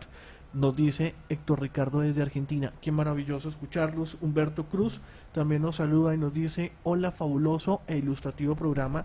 Gracias por la cultura. Y es que estamos en este especial de Somos Bicentenarios UD, así también lo pueden escribir en las redes sociales para estar atentos de, de esto. Para los tres, profesor Absalón creo que va primero, Mm. la pregunta de Mónica sobre nuestro himno nacional. Los Eh, símbolos patrios. Eso, Ay, ah, vamos, sí, que es- le es- pegamos al escudo y le pegamos a ese amarillo, azul y rojo, profesor, que usted también nos, nos, nos, nos recreó. ¿Eso de, de dónde viene? ¿Del cabello azul, de los ojos azules y los labios rojos de una mujer? Eso. ¿O nuestra belleza del oro, la sangre y los océanos que mo- nos metieron el cuento? No Eso. sé, no, no, mentira, no sé. Profesor Absalón, Yo, usted que yo quería arranca. retomar el, epi- el epígrafe que leíste en el De hecho, desde esta perspectiva de la cultura occidental, eh, en la Odisea, pues hay una lucha entre el, hombre y los dioses, ¿no? Pero aparece también el héroe, ¿no? Mitad dios, mitad hombre, es decir, eh, y efectivamente el héroe es eh, consustancial en lo que es el referente de lo que posteriormente se constituye como la identidad colectiva, o sea, la identidad griega se constituye alrededor de los héroes, ¿no? Homero, Aquiles, Ajax, ¿no? Y efectivamente eh, eh, eh, Occidente nos hereda eso y efectivamente la idealización de, de, esos héroes se da en, en- América Latina y se da en, el proceso de independencia, ¿no? Sin embargo, yo diría, clave, por ejemplo, que hemos trabajado la, enseñanza de la historia. Por ejemplo, ¿qué ocurre con relación a, a la básica primaria? La profe de la básica primaria enseña una historia patriótica e identitaria e importante para los niños. ¿no? La Fundación de Bogotá, la profe primaria dice, se hacen las 12 chozas y hacemos en greda y bueno, como sea, pero la cuestión... eh, y para el grito de, de independencia, el juego de roles, y los niños se disfrazan, y ya en secundaria los licenciados en sociales se encargan de construir, pero de no generar refere- referente identitario alguno. ¿sí? O sea, el profesor de sociales no le cuesta mucho dar cuenta de cuál es el referente de identidad de nación que tenemos. Ese es un problema, que cuando y, eso inclusive lo ha trabajado muy bien el IDEP, ¿no? Es decir, ¿qué- ¿qué ocurre en la enseñanza de la historia en la primaria en términos de esa historia heroica que es rescatada por estas profes que son inclusive egresadas mías de pedagogía con relación a licenciados sociales que se encargan ya en la secundaria? Lo, lo otro es eso, yo, yo diría, y en el marco del bicentenario hay que humanizar al héroe, ¿no? Yo diría, clave, de, por ejemplo, con relación a Bolívar, ¿no? De- de- hay un texto mu- muy, importante Bolívar y Ponte de, de Marx, y Marx es, es tenaz con Bolívar en ese texto. Le- le- es que hay una idealización de Bolívar exagerada.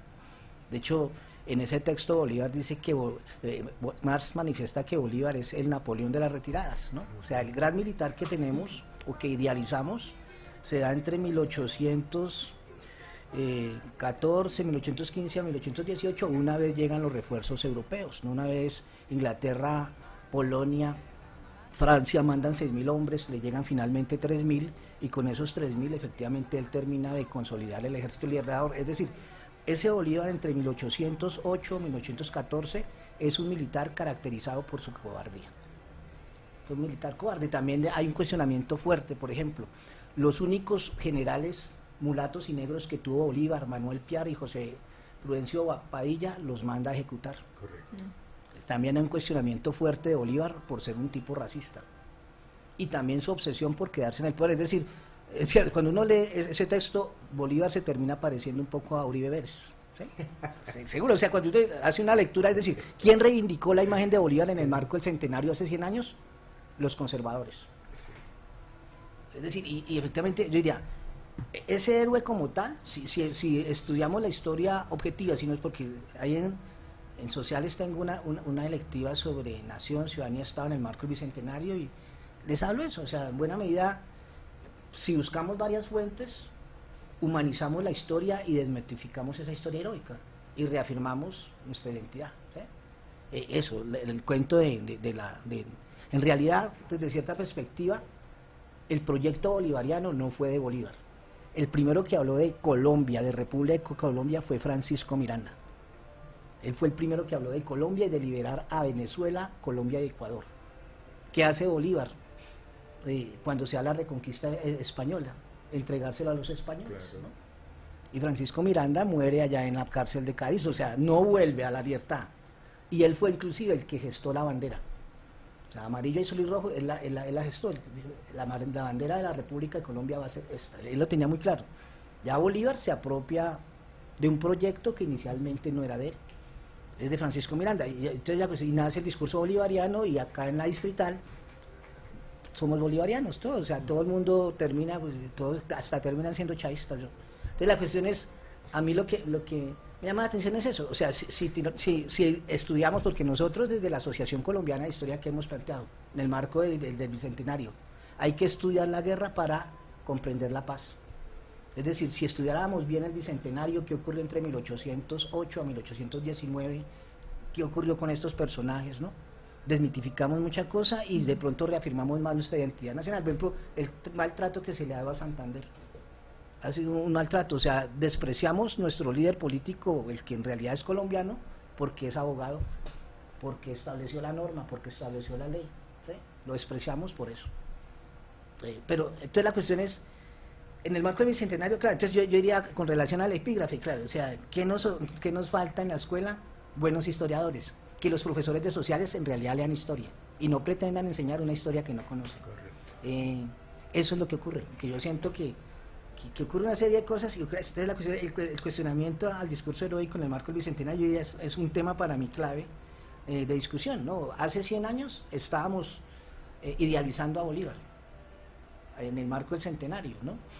este parque de la independencia, ¿no? Es porque los dos parques que tenemos tienen su historia. El Parque de la Independencia es un parque que nace como eh, en el marco de la celebración del centenario, es un parque conservador y el Parque Nacional es un parque de los liberales.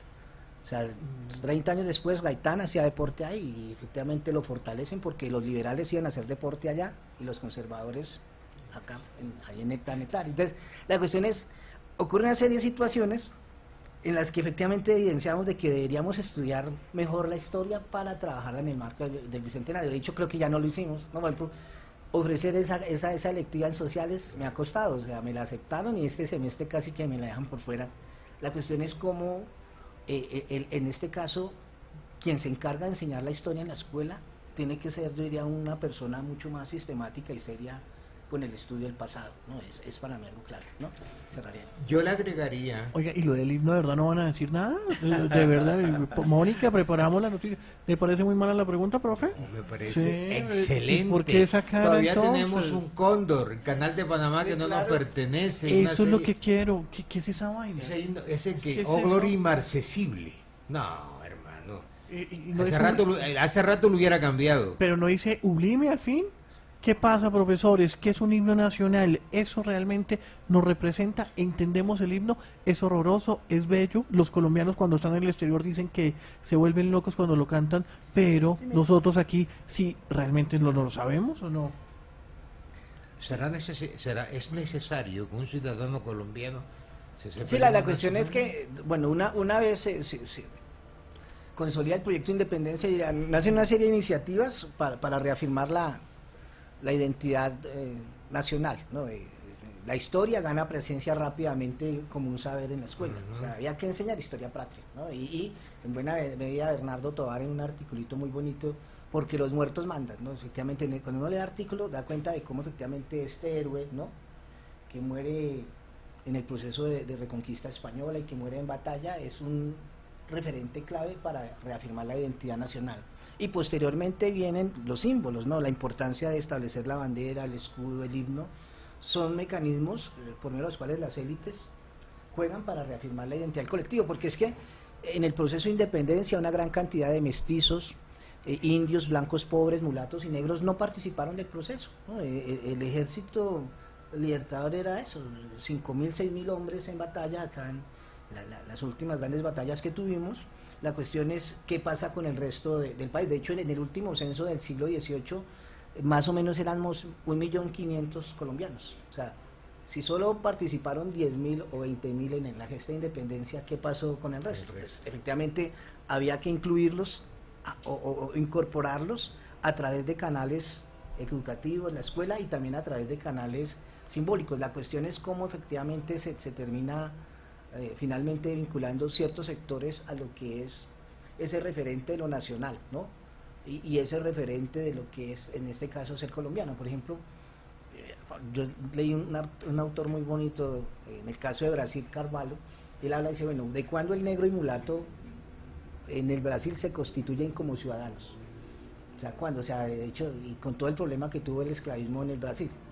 Y dice solo hasta 1960, 1970 a través de dos canales culturales, la samba y el fútbol. El Carnaval de Río fue fundamental para reconocer la importancia del negro y el mulato en el Brasil, que hacían parte de la nación. Hasta el punto, maestro, que Getulio Vargas Mm. termina por nacionalizar la samba Mm. como algo de ellos. Claro. Y el fútbol, Vargas. y el fútbol, o sea, Pelé trae la Copa del Mundo, de hecho Pelé fue ministro del deporte en Brasil. O sea, reconocer al negro como ciudadano, eso no fue fácil en el Brasil, como parte de lo nacional. Entonces, aquí ocurren eso, una serie de situaciones, y bueno, yo, yo diría, claro, con relación a, la, la relación de, de, la persona con, con la imagen, ¿no? La imagen, eso, el referente que tenemos cuando está eh, la bandera eh, en, fuera del país o la encontramos o escuchamos una música eh, una canción sí, nacional. Pues escuchamos la música de Juanes en, en Buenos Aires. Uno dice, "Uy, eso es de mi tierra, me siento y me tomo una cerveza para terminar de escuchar la canción. Pues la cuestión sí, efectivamente, esa relación subjetiva, simbólica, eh, es fundamental en la constitución de la identidad. Así, así efectivamente nos cuesta mucho. Yo diría, cambiar la bandera sería pues, hoy en día algo muy difícil, o sea, creo que no, no, no lo aceptaríamos, ¿no? Lo del escudo, sí, yo creo que sí hay un consenso de que ese escudo que ya no representa. Eh, y lo del himno nacional es algo muy, muy relativo, ¿no? O sea, está ya una cantidad Pa- de... para uno es difícil no situarse como educador cuando habla de estos temas, ¿no? O sea, el tema es qué función cumplen. Sí, yo no cam- difícilmente cambiar esos símbolos porque representaron una etapa histórica Sí, claro. que uno que está de acuerdo con la indep- con lo que pasó hoy, pero sí como no con la idea de de la historia oficial que es como que ahí termina gran parte de la historia y viene una historia ahí como ya de- de- no no no es decir como si esa fuera la, el fin de la historia eh, la parte eh, es, decir uno piensa que si se enseña así pues no tiene no tiene sentido ens- enseñar estos el, himno eh, la bandera y la historia de Colombia. En la idea que decía el profesor Absalón de desmitificar más bien uno como docente y como investigador la visión geográfica de los héroes o yo vi el primer- uno de los libros que me ha gustado Historia Social de la Ciencia el de Olga Restrepo donde se, se muestra cómo es que Mutis por ejemplo logra hacer las expediciones. No es que Mutis por su interés personal. Hay unas condiciones frente a la corona la corona la que le da los permisos hay unas condiciones económicas en España que hacen que se necesite una expedición científica. Eso no depende del héroe. Los héroes digamos esas personas que se han situado ahí como héroes dependen de unas condiciones de una época y uno lo que debe tratar como al, al enseñar o al investigar es tratar de situar todo ese marco de condiciones porque la historia no la mueven solo los sujetos sino estructuras sociales dinámicas sociales eh, entonces uno puede situar la enseñanza de del, del himno nacional, de la bandera, del escudo, entendiendo qué simbolizaban para una época, qué, qué, qué- qué papel jugaban, qué pasó con la historia de ahí para acá, depende de cómo problematice uno eh, la enseñanza de la historia y también pues la historia, ahí la historiografía, o sea, todas las tendencias y explicaciones de una época determinada y el papel que jugaron todos estos personajes o movimientos, pues es necesario situarlo ahí. Yo no, pues sí, es difícil decir que antes ahora deshagámonos de estos referentes. No, no es tanto así tengan una visión crítica de lo que es nuestra historia, no creería yo que, pero sí puede hacer críticas y plantear en el marco de qué surgieron. Y yo haría referencia, maestro, y además siempre lo he planteado aquí en, en los programas de, la, de las tardes. Eh, yo no sé a veces los periodistas cómo hablan de historia si no hacen la intertextualidad. No sé cómo hablan de historia si no ahondan en esa historia y voy a aprovechar este texto que salió para el Bicentenario, maestro. Se llama Fiesta, Memoria y Nación, Rito, Símbolos y Discurso. Y mira el periodo que trabaja, 1573-1830. Aquí está condensado la, la historia de, estas manifestaciones culturales. Entonces, yo sí la apuesto a eso. Yo no puedo hablar de historia. Yo no puedo hacer circunloquios con la historia. Aún me atrevería a plantear no puedo hacer retórica con la historia. Ahora, el atrevimiento que tuvo García Márquez de fabular con Bolívar en el general en su laberinto mm. fue atrevido, fue oportuno, porque puso a un man sobre los pies en la tierra, lo puso a bailar cumbia con los gaiteros de San Jacinto, lo metió en una hamaca como, como, como esparcimiento espiritual en el Caribe, lo puso en tierra, lo puso un hombre coqueto, erótico, lo que tú quieras. Esa parte a mí me parece una manera de fabular, de hacer que otra gente que a veces es escéptica frente a eso se acerque a un tipo que lo hicieron héroe, ¿verdad? Lo presentaron bonito, bien, bien, bien peinado, buen jinete. Chávez lo presentó como un negro mestizo de. Venezuela. O sea, en esa confusión de imágenes que también se presentó, yo creo que sí hay que, hay que meterle el diente, la escuela, como dice el profe, eh, buscar mecanismos didácticos, pedagógicos, ahora que hay el, bendito videobin, tratar de acercar a los pelados para que miren la historia de una manera distinta. Y el periodismo colombiano que le apunte más a la intertextualidad. Y quería anotar dos cosas, profe, fíjese, yo no sé si es Pablo Morillo el que negocia con Bolívar o Bolívar es el que negocia con Pablo Morillo. Mira que cuando Napoleón sale derrotado, automáticamente Fernando VII tenía una crisis brava en España automáticamente, con la derrota de Napoleón, entra a plantear la reconquista de la Nueva Granada, a punta de espada, a punta de balín, lo que tú quieras. Y ahí viene la negociación de Bolívar con Pablo Morillo, ¿cierto? Uno no sabe cómo fue la, negociación ahí entre los dos, qué se hizo. Y ahí es cuando aparece la muerte de Policarpa Salabarrieta y de José Celestino Mutis en la ciudad de Bogotá. Ahora, se, empezaron que si Policarpa murió sentada, que si murió parada, que se alzó el brazo, cosas que a mí me parece que no son, son artificiosas, no, no hacen parte de ese constructo histórico. ¿Por qué negocia Bolívar con Pablo Morillo? ¿Bajo qué términos, maestro? Esa es una pregunta que está allí que no sé si la historia la ha resuelto, maestro mío. Pues, son eh, élites, o sea, en medio de todo son dos líderes militares, ¿no? Y, entre los códigos militares hay maneras de ver el mundo, ¿no? Eh, efectivamente se da eso, ¿no? cuando, eso se trabaja, por ejemplo, todo lo de las guerras civiles, eso, todos esos acuerdos son acuerdos muy particulares, ¿no? Eh, entre élites, eso. Eh, ¿Qué ocurre? Por ejemplo, las guerras civiles del siglo XIX, cuando se caracterizan, ¿no? Se enfrentaban en el campo de batalla, pero no las élites, sino efectivamente los soldados, el pueblo y por lo general eh, esos líderes eh, políticos, militares iban a los mismos lugares de encuentro, esparcimiento, iban a los mismos lugares a tomar trago, iban a los mismos lugares a también inclusive escuchaban misa a la misma hora. Entonces la cuestión es cómo efectivamente eh, hay unas élites y también unos códigos militares internos donde efectivamente hay unas maneras de reconocer al otro y, efectivamente establecer esos acuerdos. Yo creo que fue un acuerdo ahí como de ese tipo, en el sentido de, respetar como su, su, hoja de vida militar, su, su, tradición y, la manera como efectivamente cada uno de ellos se tenía que presentar a la tropa una vez se, dio el acuerdo. ¿no? Es eso.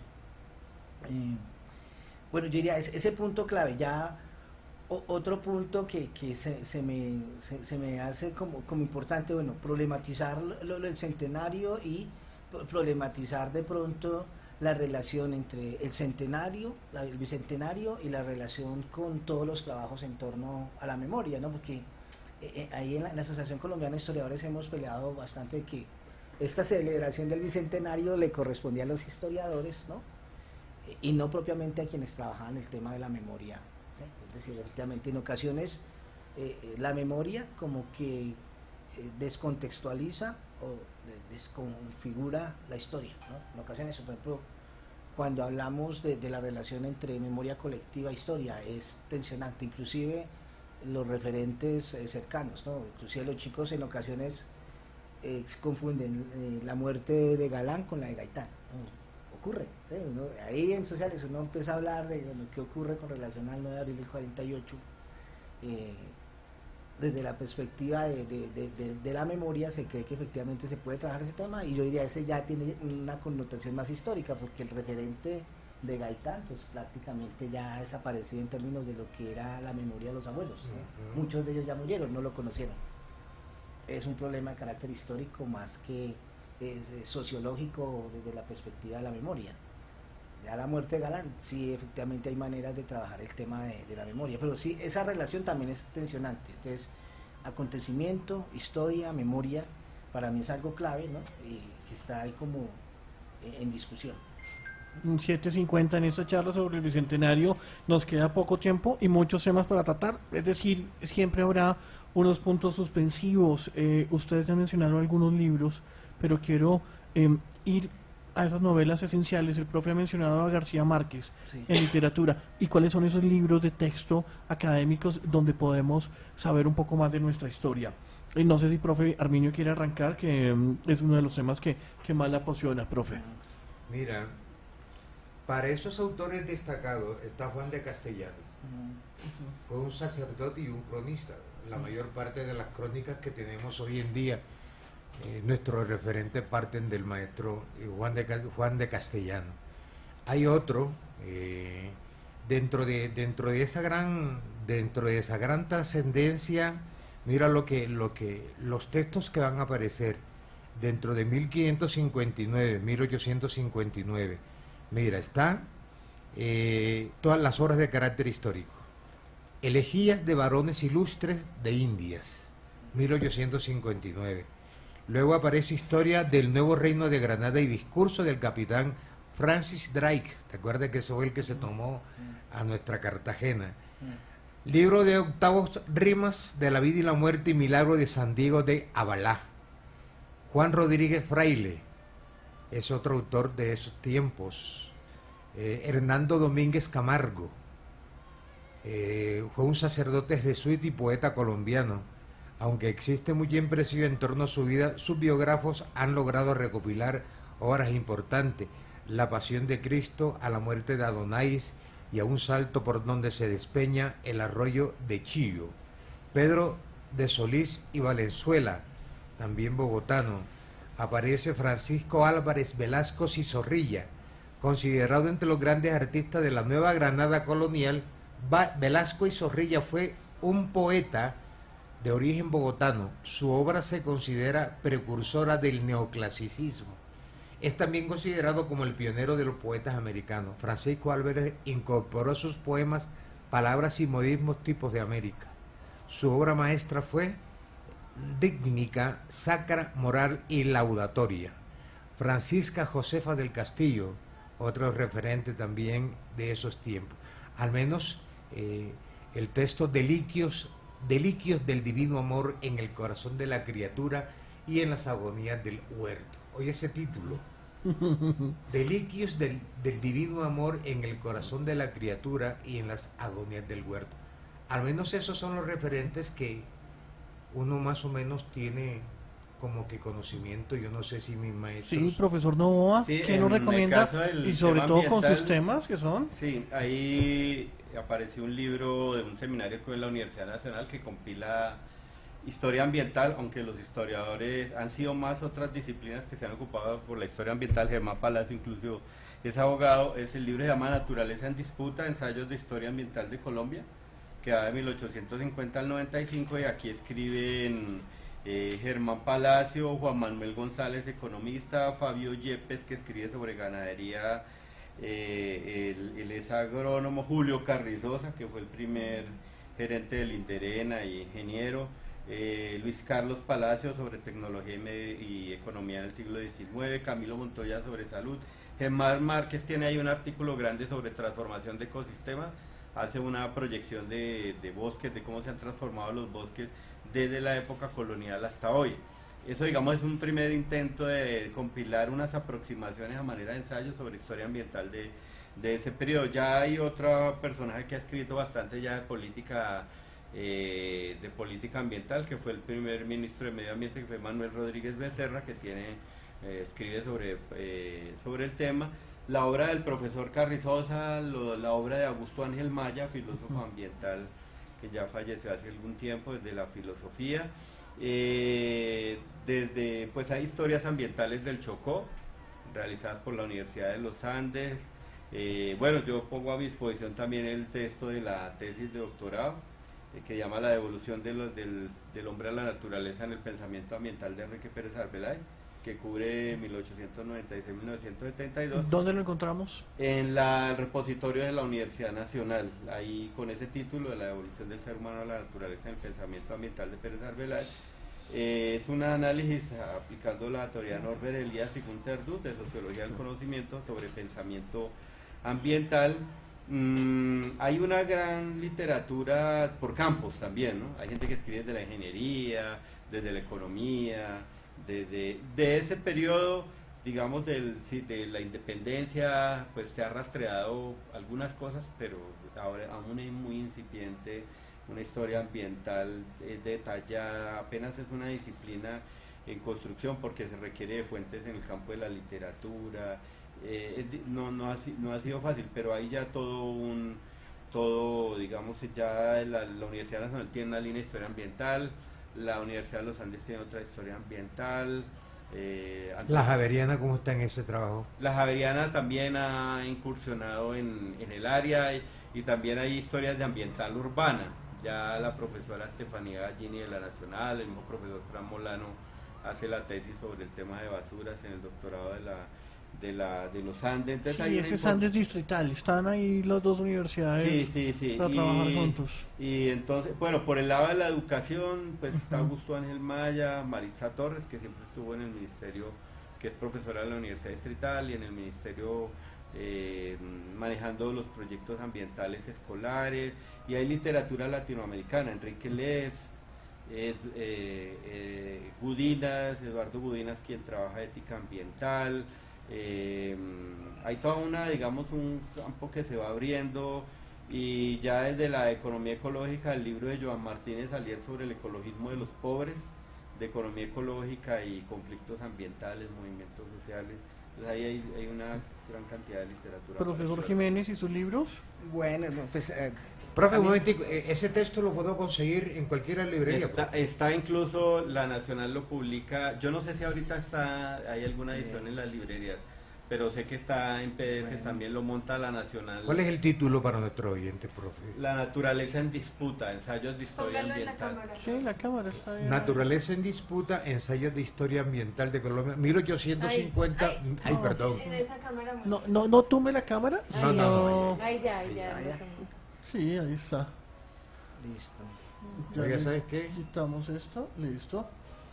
Perfecto. Profesor, si quiere lo escuchamos a usted. Bueno, eh, con, relación a la, al papel de la literatura y su relación, yo diría muy, yo diría eh, interesante con, la historia, ¿no? Ante todo, historia, literatura para mí siempre ha sido como un reto, pero eso, general en su laberinto a mí me gustó mucho el texto de Gabriel García Márquez en el sentido en que, en que humaniza a un héroe, ¿no? De hecho, inclusive cuando yo leí la novela, dice, inclusive debo pensar muy bien el momento de retirarme, ¿no? Porque imagínense cuando él habla de que Bolívar va caminando, va paseando por el barrio Egipto y los niños del barrio Egipto le tiran mierda al marrano y le gritan viejo longanizo y Bolívar se cuestiona y estos niños no respetan a quien liberó cuatro países y creó uno y el tipo se cuestiona, pero entonces la cuestión sí, la humanización de, del héroe mira a través de la literatura, en ocasiones al historiador le cuesta hacer eso, humanizar, mirar al otro como es, como un ser humano que, inclusive vivió esas situaciones, bueno, me debo retirar, tengo que entregar, tengo que irme a, Santa Marta a descansar y buscar otro, otro, otro aire. La cuestión es, es eso. Ya lo otro con relación, hay un libro que yo reivindico porque en el año 2003 a mí me pasó algo muy particular. Yo escribí mi, libro, fue mi tesis de maestría Democracia en tiempos de crisis, ¿no? un estudio sobre la ciudadanía, los alzados en armas y el Estado en Colombia. Pero entonces, en esa investigación yo trabajé de manera sistemática y juiciosa el tema de la nación. Yo, diría, yo referenciaría eso. ¿Por qué? Porque efectivamente hago un recorrido ante todo de cierta perspectiva de la historia vista desde abajo, la historia social, la historia popular, es decir, reivindicar a los sectores subalternos como parte de lo que fue la constitución de, la nación, comuneros, eh, artesanos, campesinos, ¿no? De hecho, el primer ciudadano que tuvo Colombia fue el campesinado. El campesino fue el que primero impugnó sus derechos en el estrado judicial, de manera paradójica. Los gaitanistas, y de manera paradójica, pues ahí reivindico el papel de la izquierda armada, eso, por ejemplo, en ciertas, eh, desmitificando el pasado, por ejemplo, eso, quien fue el guardián de, los recursos naturales hasta hace muy poco fue la guerrilla, las FARC. ¿no? Entonces, por ejemplo, el papel que jugó la izquierda armada en determinadas zonas del país, ¿no? fue guardián de los recursos naturales, alfabetizó, eh, gestionó políticamente, mantuvo un orden producto de la ausencia del Estado. Entonces, hizo, carreteras. Eso, entonces, entonces cuando planteé la tesis de, porque inclusive Tiro Fijo reivindicó las FARC como parte de la sociedad civil, dos entrevistas que estaban referenciadas ahí. Entonces, yo, yo referenciaría pues mi libro porque además en, en, ese, en ese libro pues hay una referencia importante de bibliografía. Todo lo que tiene que ver con nación está referenciado en el texto o lo que yo conocí hasta hace años en ese momento y para mí es como clave en el sentido de que eso, en el marco de, de esta discusión del Bicentenario, la discusión en torno al tema de la nación me, me, me gusta mucho, ¿no? retomarla, pero inclusive problematizarla más con relación a lo que nos ha ocurrido en la segunda mitad del siglo XX, ¿no? el deporte, el periodismo, la cultura, las fiestas populares, todo ese rollo es para mí clave y creo que hay otras maneras de pensar la nación, pero yo diría ese texto y otro que tengo aquí en el camino hacia la nación de Conin, o sea, hay una serie, como historiador podría referenciar varios, pero yo diría así si conocen el, texto que, finalmente publicó Editorial Planeta, porque me acuerdo en, ese año se dio el premio, ganó Mauricio Romero, y, en ese momento pues yo quedé ahí como en stand-by y, Editorial Planeta al final decide publicar el libro que fue mi tesis de maestría, que para mí fue un honor, pero ahí está. Gracias. Profesor Absalón, muchísimas gracias. Lo mismo para el profesor Novoa y para el profesor Arminio del Cristo. Y Mónica, ahí hicimos algunas preguntas y nos quedamos muy cortos. Simplemente iba, iba, iba, a reivindicar mi tesis de pregrado, que trabajo todas las constituciones de este país. Si nos quedó en el tintero eso, eso profe. Todas las constituciones de este país trabajo en mi tesis, en mi, monografía de, de, pregrado. Hice un análisis de las constituciones de este país y por último, yo para, para cerrar con broche de oro, en el nuevo reino de Granada, durante los siglos XVI y XVII, las formas externas de expresión festivas incluían, según lo que la ocasión demandaba, procesiones y mascaradas, lidias de toros y juego de cañas, certámenes poéticos, arcos triunfales, decoración de la fachada, representaciones teatrales, música y bailes. Siguiendo el ejemplo de la península ibérica, los conquistadores y sus descendientes convirtieron en diversión el fuego y la pólvora. Mira que primero, antes de hacerse las corralejas en el departamento del Córdoba, Sucre y Bolívar, se hicieron corralejas allí en la Plaza de las Nieves. Y antes de las corralejas en Cincelejo, en la provincia de Padilla, en Valledupar, es la primera villa que hace corralejas de toro con toro cebú traídos de España.